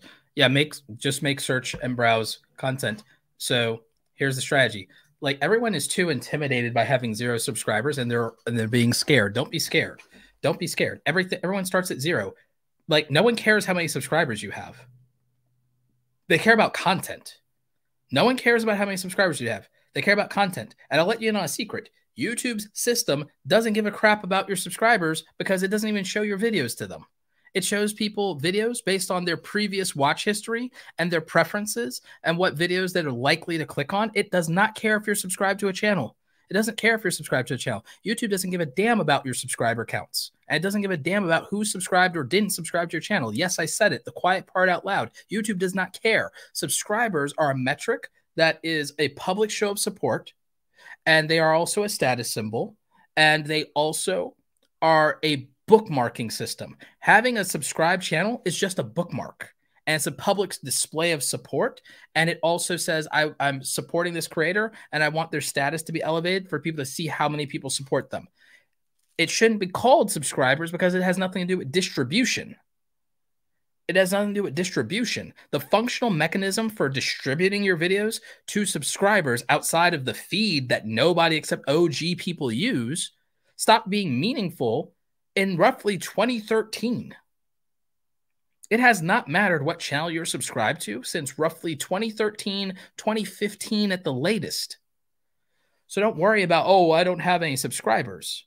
If you're starting from zero, what you should do is you should make the most interesting videos someone could watch about the subject matter that you can think of if they're at least entry level to the subject matter. And you should launch the channel with maybe five of those videos at once maybe five to eight of those videos at once. So there's something binge worthy to watch because until there is at least eight videos of the same subject matter, there's not really anything to subscribe for because it takes people three to five videos at a minimum to subscribe to a channel and you don't know which discover and what entry point they'll take but you have to also promote the videos to each other in a way that makes sense and make it so that they have entry level content, what I call gateway content. So, how do you launch a YouTube channel from zero? You start with five to eight pieces of gateway content that can be watched in any order that all of the same audience would care about. You make it with the best thumbnail possible for a stranger who will care about the topic on the YouTube homepage. And you use a compelling title that still has keywords in it maybe targeting all the same keyword for those first couple of videos that could then show up in either searched videos or suggested other videos for the same subject matter, or the videos could be suggested against each other. The videos that you're launching with are going to be suggested against each other so that if they watch one video, then they'll watch the next video or the other videos or they'll binge watch. So the entire goal, I'll make a video about how to start a YouTube channel from zero subscribers. So the entire goal is to launch with a series of videos that doesn't have to be watched in any order, a series of five to eight videos for the same group of people that they can all watch without any order mattering, all with high quality thumbnails. If it isn't a four out of five or a five out of five thumbnail, do not publish it until it is. Make the better thumbnail. And if you want, like, what's a five out of five thumbnail? Find a thumbnail, multiple thumbnails of the similar quality that all have a hundred thousand plus views for the same idea that you want to talk about, because you probably don't have an original idea. No one has an original idea. And find something with a hundred thousand to a million views. That's a four out of five or a five out of five thumbnail typically. Okay. Make all your thumbnails equal or greater quality and don't publish until it is.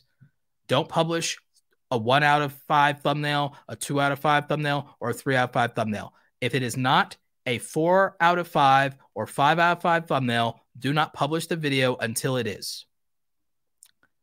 And have one or two backups for swapping out the thumbnail. And yes, I'm being that serious. If you're serious about this, if you really care about I don't have any subscribers, this is your answer. Okay. So, like how you show up matters. Dress for the job you want dress for the job you want. How you show up matters. So if you don't dress your thumbnail up for the job you want, don't complain about not getting hired, right? So dress for the job you want. Okay. Impress the viewer, even as a small YouTuber. They don't care about how many subscribers they have. What they will care about is damn, this person with no subscribers is coming out here swinging on day one. They will care about that. So it's about how you show up. Make multiple videos. If you can, five to eight videos to launch the channel so there's something to binge watch. Because even if you have to take a week off or something after that or even two weeks you have a lot of content there for people to be able to watch and enjoy.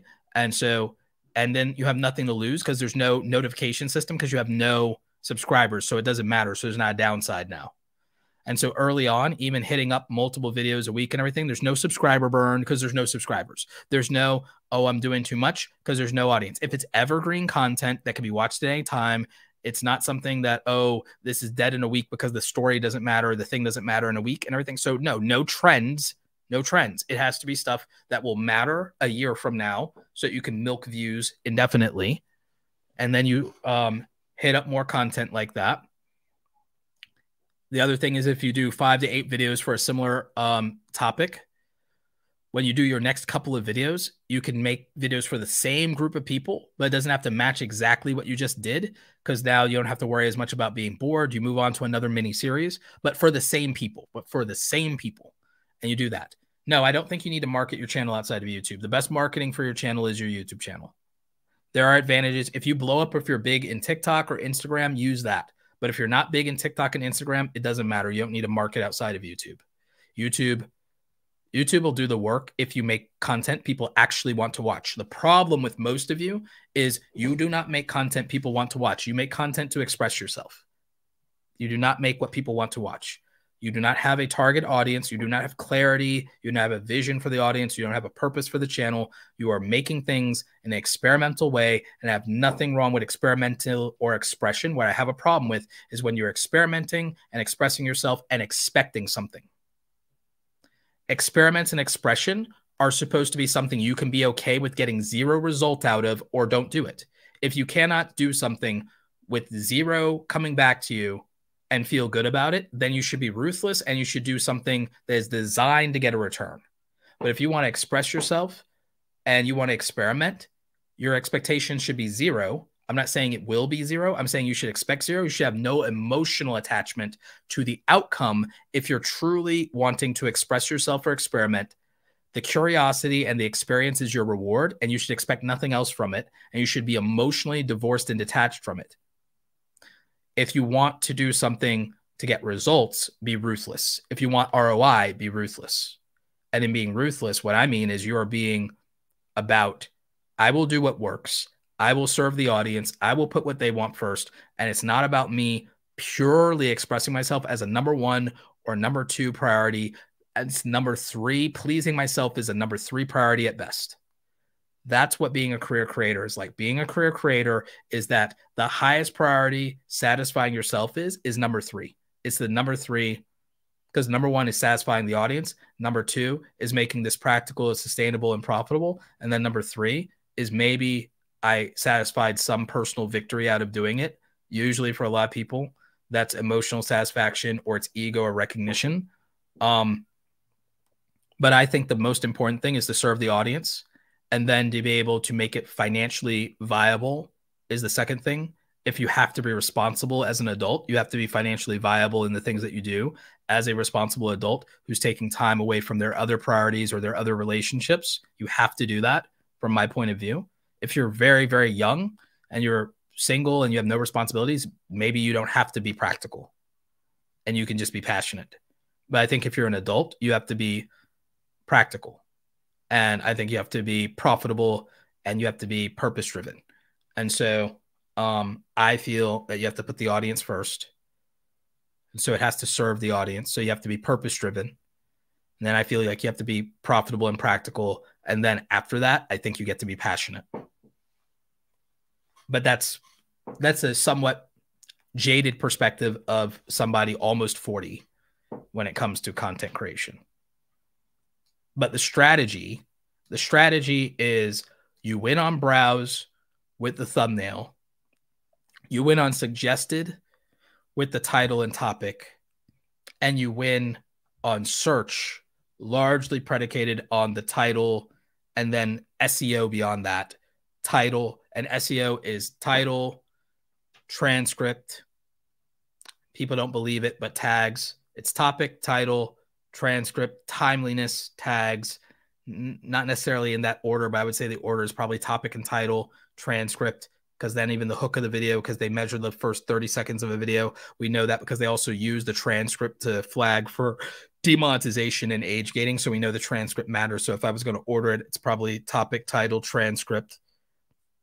I would throw uh, timeliness in there as well. And at the bottom of that, keep tags, keywords at the bottom of that. But that's my thought on the strategy for the SEO side. And then for the homepage, aka browse, it's topic, title, thumbnail, timing. Obviously, it's that. It's about trying to score on best verticals on that. Suggested videos is largely going to be these have to be the same related thing topic and it parses that by virtue of the title um to a lesser degree the timeliness things like that so it's very similar to search for suggested so you still have to be optimized so those things. Um, and again, it doesn't matter if you have zero subscribers. What matters is because no one cares. What people care about is the content that they like, which means they care about the topic that relates to them, the title that validates them, and then the content offering them value.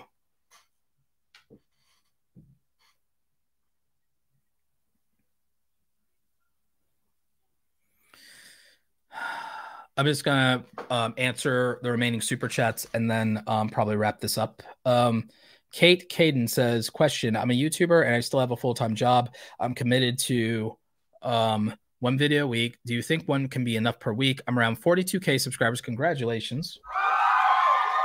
And I've been at since 2019. Okay, so my thought is, um, if you can become more efficient and if you can batch record."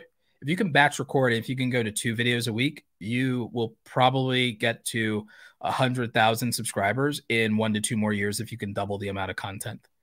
Um, I think that you have to be able to double the amount of content without a drastic drop in quality. If you can maintain 80% of the quality, if you can maintain 80% of the quality, but double the output, you will grow two to three times faster, which means you could probably be at um, 100K subs by 2025 if that's something that you would want to do which may put you in a position to go full time.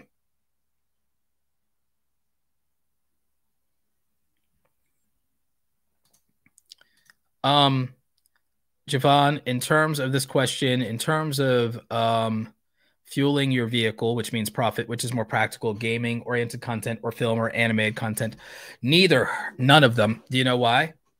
Copyright claims, copyright claims, and copyright strikes. It's too vulnerable for me to say it's even practical to do it in terms of that.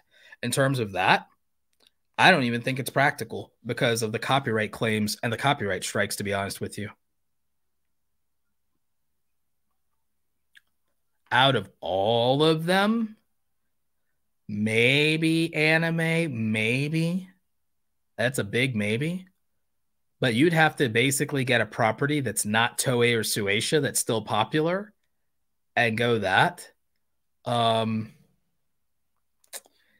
Maybe if you go with uh God, what is it? Maybe if you go with um Mushoku Tensei, uh, Jobless Re- Reincarnation, because that's massively popular and has a bunch of lore and is not getting claimed. Or maybe with gaming, if you go with the Final Fantasy franchise, or you go with GTA, or you go with Minecraft because it's not getting copyright claimed. So the only way I think that that's even remotely practical or viable is if you go with a property that is historically not copyright claimed and not copyright striked, that is still wildly popular. That's the only way I could even say that it's practical is if you can take copyright off of the table entirely. Speaks with speak English with this guy. Thank you for the super chat. I have 400k on Insta, 90k on Facebook. Congratulations and 15k on YouTube. How would you move the right people over to YouTube? I um I don't strongly believe I think it's harder to grow YouTube with other platforms than to grow other platforms with YouTube. I think the days of Vine and TikTok blowing up channels, aside from TikTok, maybe, I think that like the the days of those helping you grow your YouTube channel are far behind us because I think it's very difficult. And I think the people who even come over and they subscribe, I don't feel like they watch, right? I feel like they like the experience that they have.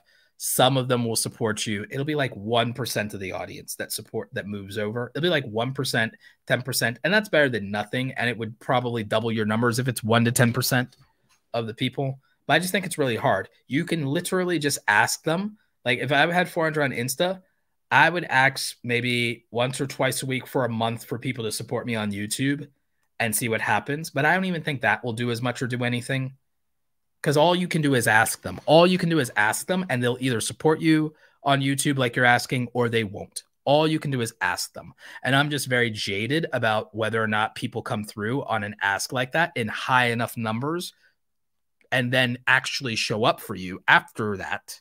After that to make it worthwhile versus if you grew those organically, I would just grow YouTube organically. I would argue that if you have 400K on Insta, it's probably because you made it more of a priority. Same thing for Facebook.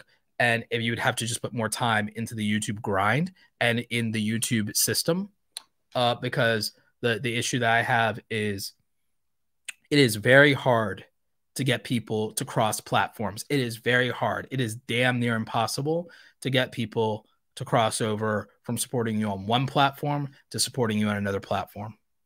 It just is. Um, and people are very reluctant to do it. And even if they do it with a follow or a subscribe, they don't show up for you, most of them. So you're going to get one to 10% of these people to do it, run your numbers up. And then out of that one to 10%, a fraction of that will then actually show up for you. So I don't know that it really, I, I, don't like to be negative. I'm just saying that that's what I've seen, not just for me, for like everybody. And I think the best route is to grow individual platforms organically. I think it's growing. Like I grew my Twitter to 75K, 78K, whatever it's at. I grew that organically. Uh, I didn't shout it out that much on YouTube. I grew that organically. I grew my 23K on Instagram organically.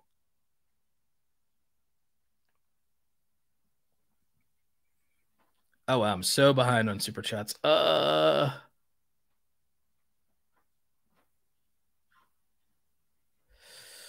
Saffron Sage says, "How how would you do an astrology channel where much of the competition is doing reports on uh transits that expire weekly or monthly. I'd make evergreen content on astrology. I would teach people things about, I would do beginner's guides for astrology that teach people so that now I capture all the people who want to learn about astrology. I capture all the people that want to learn about it. So that's one.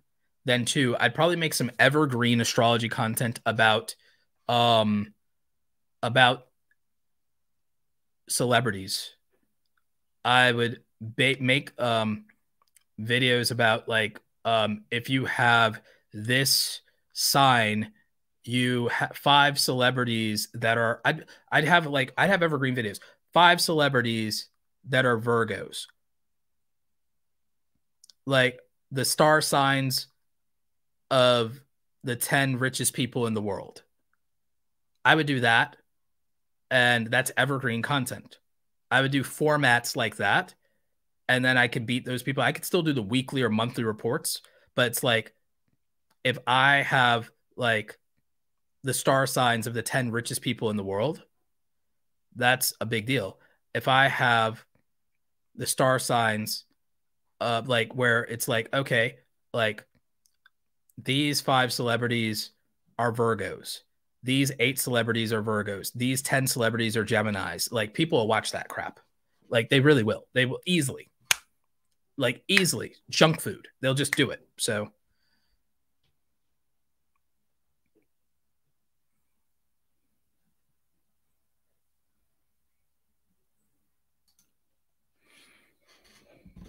Live modern dating. Thank you for the ten dollars super chat. I've made fifteen thousand on YouTube and got monetized in five weeks thanks to your content. That's a big deal. Thank you. We need more people of color in this sector. Thank you for representing. Thank you. I appreciate you that's a big deal. Getting that far and doing that in like um a couple of weeks is huge. So congratulations to you. You're doing something right. And I'm just glad that I could help. Um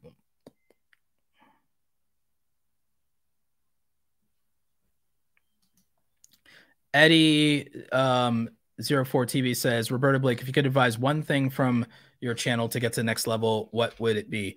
I would watch the video I said on use this strategy to grow on YouTube in 2023 advice for new YouTubers. It's the one that has the thumbnail that says zero to 50K.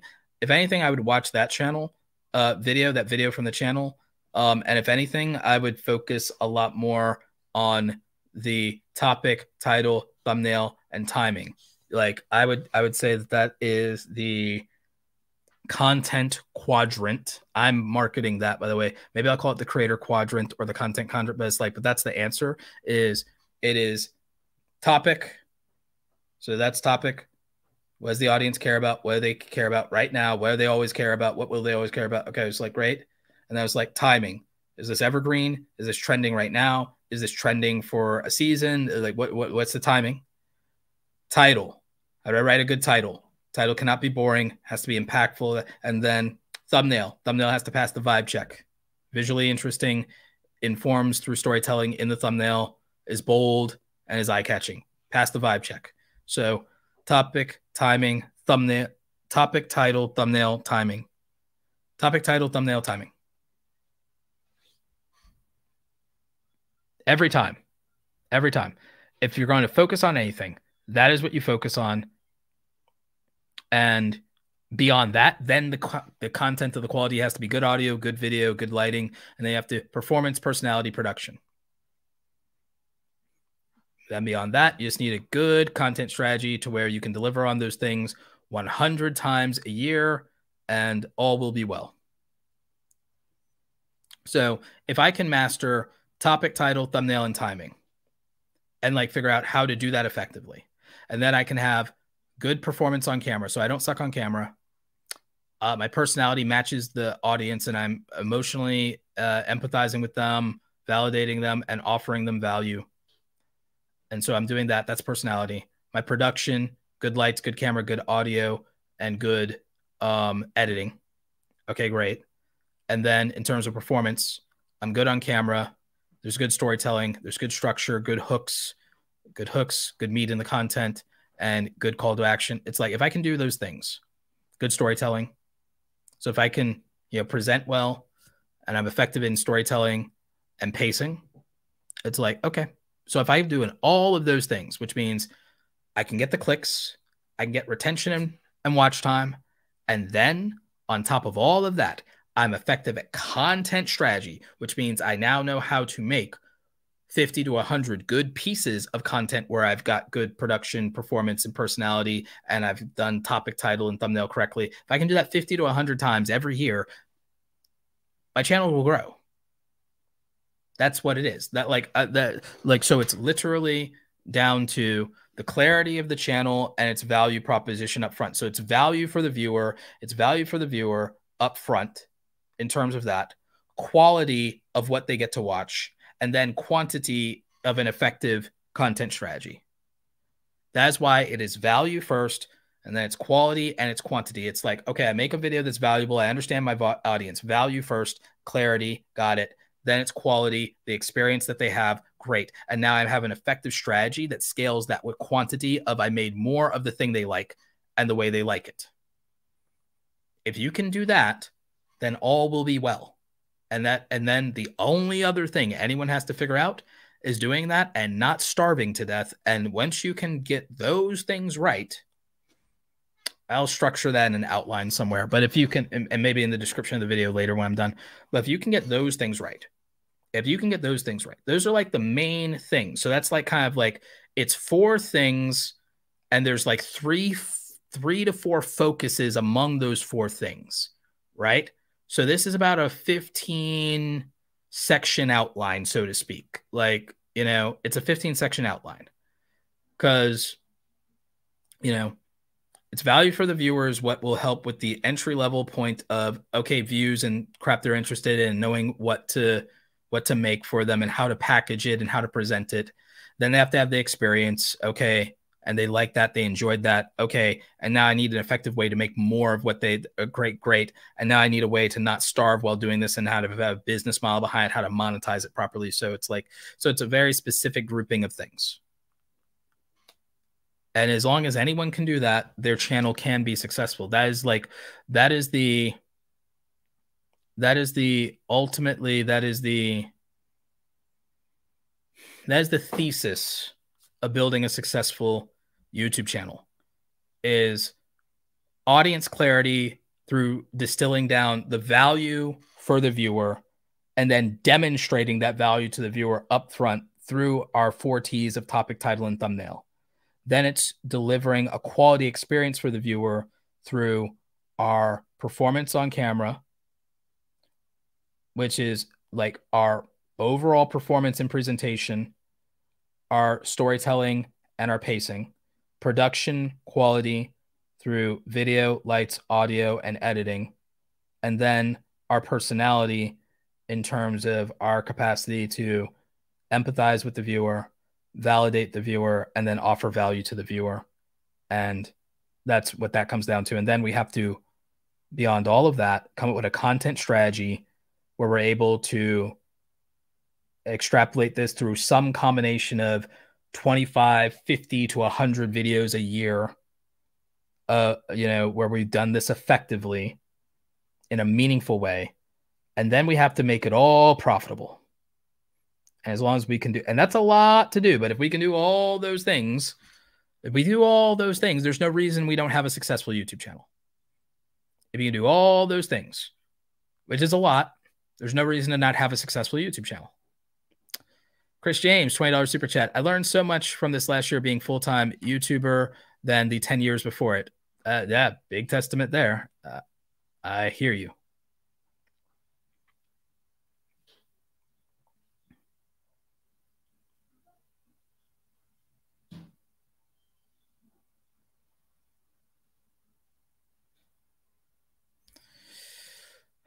I've been uh, doing YouTube for 2.5 years. Where the top three editing things I must learn? Um, biggest editing things probably in terms of generally for everybody from a quality standpoint, um, audio correction, color correction and color grading, and when and how to cut. That'd be the technical aspect of it. Um, beyond that, learning how to properly pace a video, learning how to edit the front part of a video for stronger hooks and retention at the beginning of the video, maintaining the energy uh, throughout the video, and being able to close the video effectively. I would tell people use the sandwich method or the bookend method, which is edit the first minute of the video aggressively and edit the last minute of the video aggressively before you edit the middle of the video. But that's after you've already done your uh, rough cut. So you do your rough cut. So all the mistakes and all the dead air and everything, and the video is structured um, properly. And then once the rough cut is done to where, okay, this is the core of the video, then you edit the first 30 to 60 seconds of the video aggressively, and then the last 60 seconds of the video aggressively. And so before you run out of steam and energy, the video has a strong ending and a strong beginning. So the bookends are done or the sandwich is done. And now the meat of the video is where your effort will be and you'll have to maintain energy. But at least you know you have a strong start and a strong finish. So then uh, you can work on the middle. So that would be my editing advice.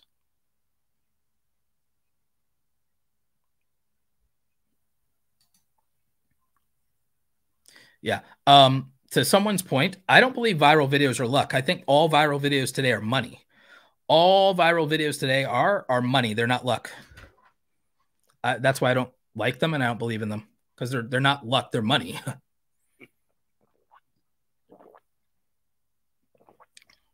viral videos today are manufactured by money printing. Five dollars super chat from uh, Tana So Lit. Um, Good to see you, bro. Great stream. Thank you. so yeah. So yeah, no, I don't believe that viral videos are I do not believe that viral videos are luck or lottery tickets as much as I believe viral videos are manufactured by virtue of um, throwing money at them now. Um, that's my experience with viral videos. My exception to that rule is YouTube. Sh- oh, excuse me, YouTube Shorts. It's YouTube Shorts. Um, Chloe says, I do tutorials and I get 940 watch hours. Growing sub is do you have advice for increasing this to build a community? I'd need to know more about the channel, Chloe. Um, I need to know more context. I need to know a lot more to be able to give anything specific. That's probably, to be honest with you, it's more of a one-on-one coaching um, thing.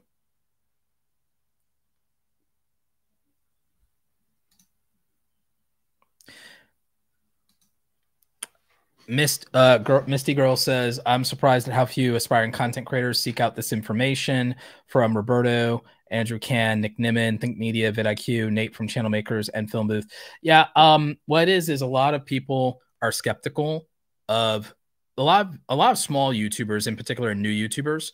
They're skeptical because they think, oh, this is all just a scheme to sell me courses or this or that. And it's like when that's stupid because if you believe that, you could just take all the free information and just say, "Oh, okay, ha ha ha, I'm going to take all your free information. I'm not going to buy your course." It's like because then just not watching the content or not believing any of it because you believe it's all designed to, to to sell a course is stupid because your own viewers your own viewers it's like you know what? You made a video because you want to make ad revenue. You made a video because you want to get sponsors. You made a video because you want to get status. You want subscribers. You want to be a big youtuber. You want literally a trophy right so the thing is, there's no altruism in making videos. That's ridiculous.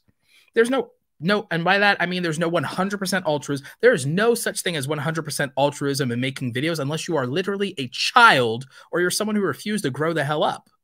There's no 100% altruism in anything after you're 18 years old unless you are a child, an idiot, or immature as hell. There's not, no, it does not exist. Or unless you were born rich and you don't have to care or you're taken care of and you don't have to care. There is no such thing as 100% altruism over 18 years old. Or if there is, and you're being 100% altruistic after you're 18 years old, you should probably be locked in a padded cell because you have something wrong with you because you will not survive this world if you're if you have that mentality and you're not rich. There's no realism to it. I'm being hyperbolic, but I'm saying it's so unrealistic. But the reason that a lot of small and new content creators, they have, they're in a lot of communities, a lot of them are on Reddit, and they're mad jaded because they think everything that might have an upsell or a marketing angle or anyone who does anything for money is skeezy or a scumbag in their opinion because the younger generation, especially content creators, have been sold a scam called Utopia, where they believe because they get on the internet and everything on the internet is free, they believe that's how the entire world can and should operate because they don't realize that the internet isn't free. The internet is subsidized through a lot of different monetization schemas that they don't understand and that they're the product and that they're the product. So they don't understand that all the free crap, this generation grew up with all this free crap and doesn't realize that because it's free that they're the product. They don't realize that they haven't escaped capitalism and that they should get over it. Um, and so they have these wacky ideas that anyone who tries to sell anything or make money is automatically a scumbag instead of literally just determine whether something's a good product or not. Or if you're so skeptical, there's a real simple answer to never being scammed in your life. Don't buy anything that's not from a billionaire. If you literally refuse to never buy anything that doesn't come from a mega conglomerate, a billionaire corporation, how are you ever going to get scammed? But then you just don't complain about capitalism. You never complain about the world. You never complain about competition, small business owners, any of those things. If you, and again, this is not directed at you, this is directed again, this like the this mentality of a type of person, right? Is that if you believe all of those things, if you like are like just so desperate to never be scammed in your life, your answer is to lock into the institutions forever. Your in, your answer to that, and I'm being dead serious. Your answer to that is only buy from vetted corporations, publicly traded companies, and institutions and billionaires for the rest of your life, and you will never be scammed. You will never be scammed if you only buy from product companies that are household names and publicly traded companies. For the most part, and and every one of them has like a return policy. So there's very little chance that you'll be scammed in the conventional sense of being scammed in the conventional sense. That's not a guarantee that you'll get value. That's not a guarantee you'll get your money's worth but you will never have to feel like there was a con artist or a scammer or something like that if you just lock in to the institutions and the conglomerates and align with them and ally with them for the rest of your life. You'll never have to worry about it and then when you consume content, you can consume free content without worry because all you have to do is never buy a course. If you if you consume free content, what's the downside of watching Think Media, Nick Nimmin, or Nate, or me, or whoever? If you never buy a course, if you never hire a coach, if you never decide to click on a product link for the rest of your life, how are you going to get scammed? Just benefit from the free content if you're so worried about it, and you can just live in this fairy utopia where nobody ever uh, buys like anything and nobody participates in capitalism while praying to also extract from capitalism through your ad revenue while also extracting from it when you want to get a brand deal and sponsorship. Like it's the most insane thing to me, right? The people who um, don't believe in paid content also believe in being paid for their content at the same time. And so that's my issue with that mentality. And so yes, I know exactly why more people don't seek it out is they don't believe in it because they um they feel like if it extracts value in any other way than their own approved way, which is, well, you get ads, but people use ad block, or well, you get sponsors, but not everyone does get sponsors, and everyone takes them, or they don't pay as well as you think sometimes, or whatever. And some people have employees. If you sell anything, you're not trusted. That's why people don't pursue this knowledge because if you sell anything, you're not trusted. So, what they would rather do instead, by the way, is listen to advice from ironically, they'd rather hear it come from a big content creator that in all likelihood never actually had to go through multiple multiple multiple years of being working class before being a content creator. Because like people who are that big typically didn't have like 10 years of working for other people right? It was at a minimum maybe five for some of them but barely that because most of the big content creators super young super young. So it's not like they had like five, ten years of being a retail worker or a server or doing an office job. So, like in the reality, the person there's a massive class difference. And I'm not saying they can't teach you because of that massive class difference. I'm saying that by the time that happens, there is a level of where their advice may not actually be applicable. It just sounds good because it's like, well, I'm hearing it from the YouTuber that I love to watch and that makes the content that I wish I could make. So I just take their, but it's like, but it's not always really great advice sometimes because it doesn't take into account time freedom and the lack of it, investment capital and the lack of it, manpower and the lack of it, efficiency and effectiveness and the lack of it. And again, that's where my issue is that I do not think most advice that exists applies to working class content creators. I definitely think most of the advice is also geared toward young people who don't have responsibility and like don't have families don't ha- um, take care of elderly parents, don't work a 50 hours a week job. Like, I don't think that most advice about content creation or YouTube exists for like the majority of working class content creators, which is the majority of content creators at large, at least the ones over 18. Like, so I, I ironically feel that the hesitancy is that they feel like the course people or the YouTube educator community, they feel ironically like we sell the dream or a pipe dream when ironically, like we're probably selling the more realistic version of it because most of the people we deal with are not like dreamers. They're not people under 25. Most of the people we deal with are over 25. Um, most of my clients are over 25, over 30, 35. Most of them are not broke because they think that we also take advantage of broke people. Like with the prices we charge, broke people can't participate in anything but our free content or buy like a book. So like there's not really a way at a certain price point to take advantage of broke people because I remember being broke and being broke meant I didn't have $500. so, like, I didn't have because, like, I think there's this new version of being broke where you can actually be broke and also have like a $500 gaming console. That was not my version of broke. My version of broke was actually my version of broke was like not having gas money my version of broke wasn't, oh, I'm going to buy a $500 course. My version of broke is I don't have gas money. so, like, I don't know what this new generation's version of being broke is or new definition of being broke is. Because, like, I, I, last time I checked, you, you can't be broke and buy a $500 course. That doesn't compute for me. So, I don't know how you can take advantage of broke people selling courses. I don't know. I don't understand that. Maybe I just don't understand the culture because I do not believe you can simultaneously be broke and afford a $500 course because that was not my lived experience of being broke. My lived experience of being broke was borrowing lunch money, even as an adult. That was my my um, lived experience of being broke is going to the pawn shop and pawning things. So I don't understand buying.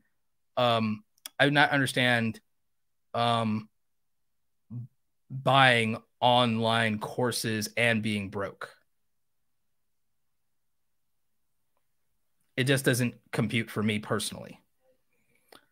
But I do think that that's the skepticism. And I think that's the pushback or the lack of believing in YouTube educators is because I think um, they believe that the big creators are more ethical because they don't sell anything except for merch or something. Hey, bro, I just want to say it's been amazing as always. Thank you for dropping gems. Thank you, KMH family. Appreciate you.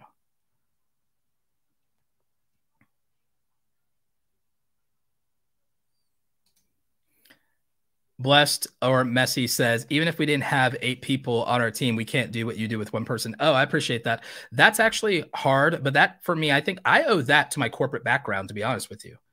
Um, I owe that, I think, to my corporate background because I was doing like eight jobs for like one paycheck, to be honest with you. I, I mean, which sucks. It sucks. Believe me, it sucks. But I think that the deadlines, the pressure, and not knowing any better and saying yes all the time to that stuff, like I think that made me uh, absurdly efficient. Um, yes, I understand that if you put those hours in, it, but that's a maybe. If it brings, because like a lot of those creators, it doesn't bring in a million dollars per se, um, and not till much later. So, um, with the quality over quantity thing, putting in those hours, it's really hard, and there's not like a guarantee. Um, so yeah.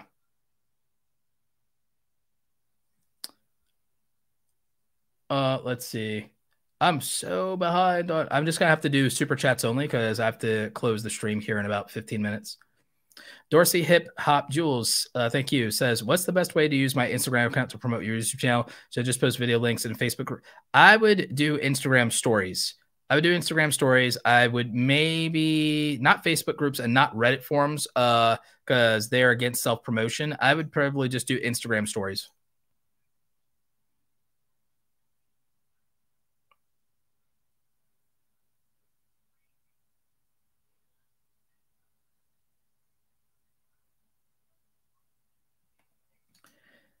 Xanadu with a $5 super chat. Tips on growing a channel after you've captured your niche.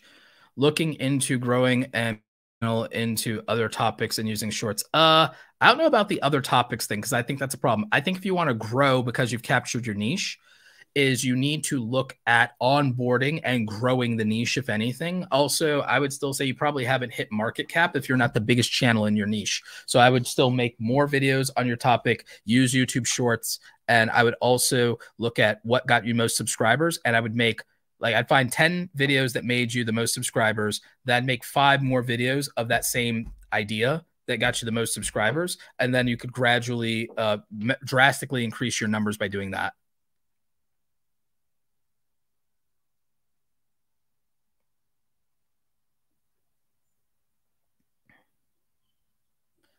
Uh, I'll probably do a stream, if not a video. I need to do a video. I need to do a video on YouTube's uh, sub payouts. I need to like, yeah, I need to do a video on YouTube sub payouts because I think there is like a lot to talk about about that. Um, here's something from YouTube's creator liaison, Rene Ritchie. Everyone would do well to go into traffic sources and see how many people really click through sub feed or notifications versus homepage and search and prioritize accordingly. I couldn't agree more. That's like a big deal. Like the traffic sources thing, um, I could do an entire video, and I probably should on traffic sources. I think that that's one of the most underlooked and important things in um, YouTube.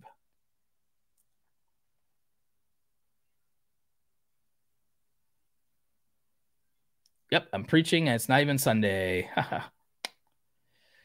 um, Shrell Moore Tucker, your honesty with us working class content creators is golden. Thank you. No, I appreciate that. It's the yeah. I think it's like the I think it's one of the most important issues.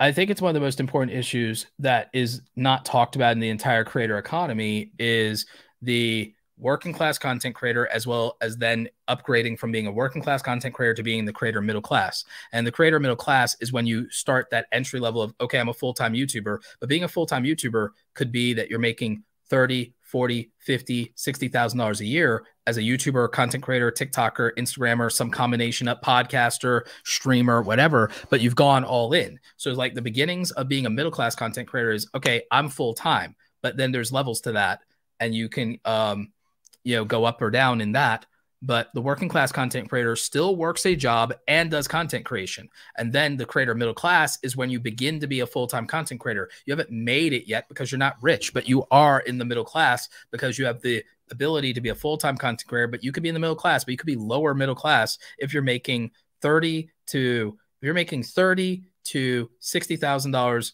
a year. You're in the creator middle class, but after taxes, you're in the lower middle class of the creator middle class. Okay. And then it goes up from there. Again, it's worse if you're in New York or California, mind you. So it's things like that. It's things like that. And I think it's not um, talked about. And I don't think it's broken down for people. Like it really matters. Um, Nobu says, Thank you for the value you always deliver on these lives. Appreciate you. I'll probably go live again tomorrow. I'll probably go live again tomorrow. Kind of filling in for Nick Nimmin today. Value, quality, strategy. Got it. Yep, that's what you got to do. Um, that's what you do. Yeah. I yeah, the reason like I said, the reason I don't like viral videos is because I believe that in the current generation of viral videos, they are all manufactured by throwing money at them. And I think that organic viral videos outside of YouTube Shorts and TikTok are rare, but I also think that those are the companies to some extent uh, picking and choosing um, sometimes what goes viral.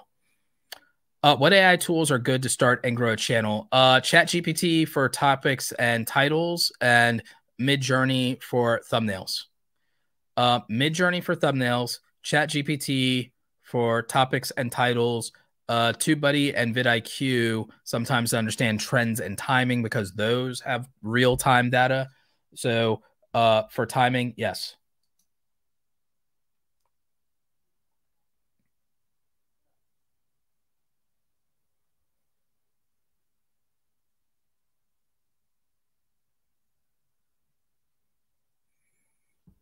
Uh, what would you do if you are looking at your channel and think I'm not cool enough to grow an audience? Work on confidence, work on charisma, um, work on topic title, thumbnail, and timing, and then also look at a channel.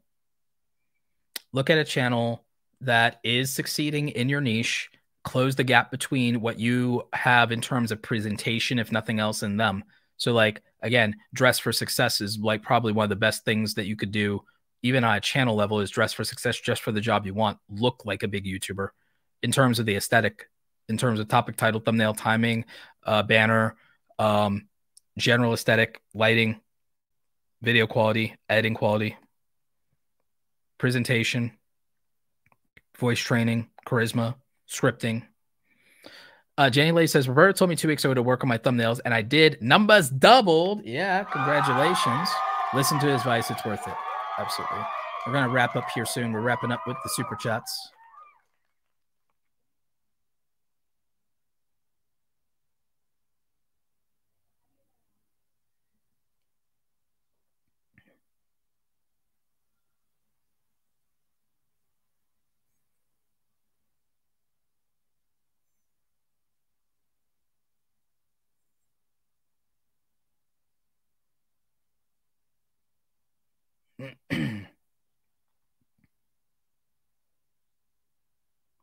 Let's see.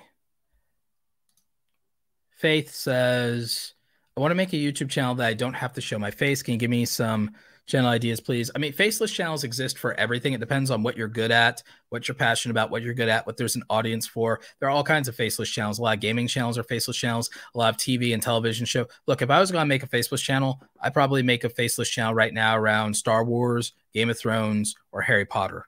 Um, those are like probably the three biggest franchises in the world um like in terms of fandom right now. So those are ideas. You can make a faceless channel that um covers news if you want to go into news and politics. You can make a faceless channel about roughly anything at this point. Um you can make a faceless channel that's creepy pastas where you tell scary stories. Um that would be another one that i could probably say that oh yeah that'd be fun to go into because that's fun and you don't have to upload as often. So yeah My boy Reezy Resells. How's it going, Mike? Um, Reezy says, man, man, live for four hours for a Sith. It's pretty heroic. Yep. Yep. We got to be out here repping the dark side. Would you ever do a collaboration with a small YouTuber under a thousand? I have, but the thing is, that's not valuable to my audience for the most part. That's like, so the issue is not about like, oh, do I think a small YouTuber deserves it or anything like that? No, it's about a small YouTuber with 1,000 subscribers typically, typically can't do something for my viewers. They can't do something. I'm only interested in collaborations that actually serve my audience. That's what I keep talking about. Like the only thing that happens from interviewing a small YouTuber is theoretically that small YouTuber theoretically might and probably won't get some subscribers out of it. So it's really great for a small YouTuber under a thousand. My audience gets nothing out of the exchange. I get views, maybe, maybe I get views, maybe I get ad revenue, Maybe it looks altruistic or charitable on my part. Maybe it makes me look very relatable and not like a snob. And my viewers get absolutely nothing because there's not something that is more interesting that I can do um, by collaborating with a YouTuber under a thousand subscribers that my audience can get value from versus me interviewing a YouTuber with 20, 30, 50,000 subscribers that broke through that has something to give to the experience that they're going through. So go given my audience's goals, given my audience's goals, the only way that that works is if the small YouTuber is also successful outside of YouTube in a massive way that would matter. So a small YouTuber with less than a thousand subscribers that's also a multimillionaire might have something to contribute to my audience. A small YouTuber with less than a thousand subscribers, but works with one of the brands in the creator economy, that would actually make sense for my audience. But there's not much that um, a small YouTuber with less than a thousand subscribers per se can do for my audience. A YouTuber with 10,000 subscribers could do something for my audience because there's an experience that they could um, speak to. There's an experience that they could speak to that really would relate to my audience and that a lot of people haven't gotten to 10 90% of creators haven't gotten to 10,000 subscribers. So that would do it. A YouTuber who got to a thousand subscribers and just got monetized and went through the partner program application process, they could do something for my audience because they can speak to the application process and what it was like to just get a channel monetized and pass that process. So that is that's something where someone could offer this. This is the last super chat, and then we are literally wrapping up because we're about to hit four exactly. And LinkedIn only does four hours on the stream too. So if nothing else, we'll have to close out LinkedIn. Marcel Hyde says, I'm six months in and not seeing any channel growth. I'm in the self help inspirational space. Best advice to grow this channel in this niche. Um, I'm going to answer this, but we're going to have to close out for um, LinkedIn audience because LinkedIn can only go to um, four hours um, of stream time, believe it or not. So sorry for the LinkedIn audience. You're going to have to watch on YouTube um, to get the rest of this. Um, I think I can end the broadcast only for LinkedIn people. Nope, I can't. Okay, I'm going to have to answer this in a minute and close out. I actually gave advice for the self help niche, but what you need to do is you need to specifically find a problem to solve for a specific group of people. You cannot just be this broad, inspirational self help space, not to start and grow. You've tried that for six months and it hasn't worked. Focus on a group of people, find the best video that you've done that's done anything at all. Find the five best videos you've ever done capitalize and say, I will go hard on those things and make more videos about those things specifically, make the best thumbnail that has ever been made for those topics, make a stronger title and not a generic title, maybe something triggering or aggressive or controversial for those topics to get people's interest, and then try that and see what happens. Um, is what you need to do. But solve a specific problem or group of prob grouping of problems for a specific group of people. So that'd be my advice. I want to thank everybody for the stream and for showing up. I want to thank everybody who super chatted. Uh, we'll probably do this again uh, tomorrow and Sunday. I'm going to try to add timestamps later in the week. Thank you to everybody. Remember that you can grab my book. Link is in the description down below. Stay awesome, and I will catch you next time, everybody. Take care.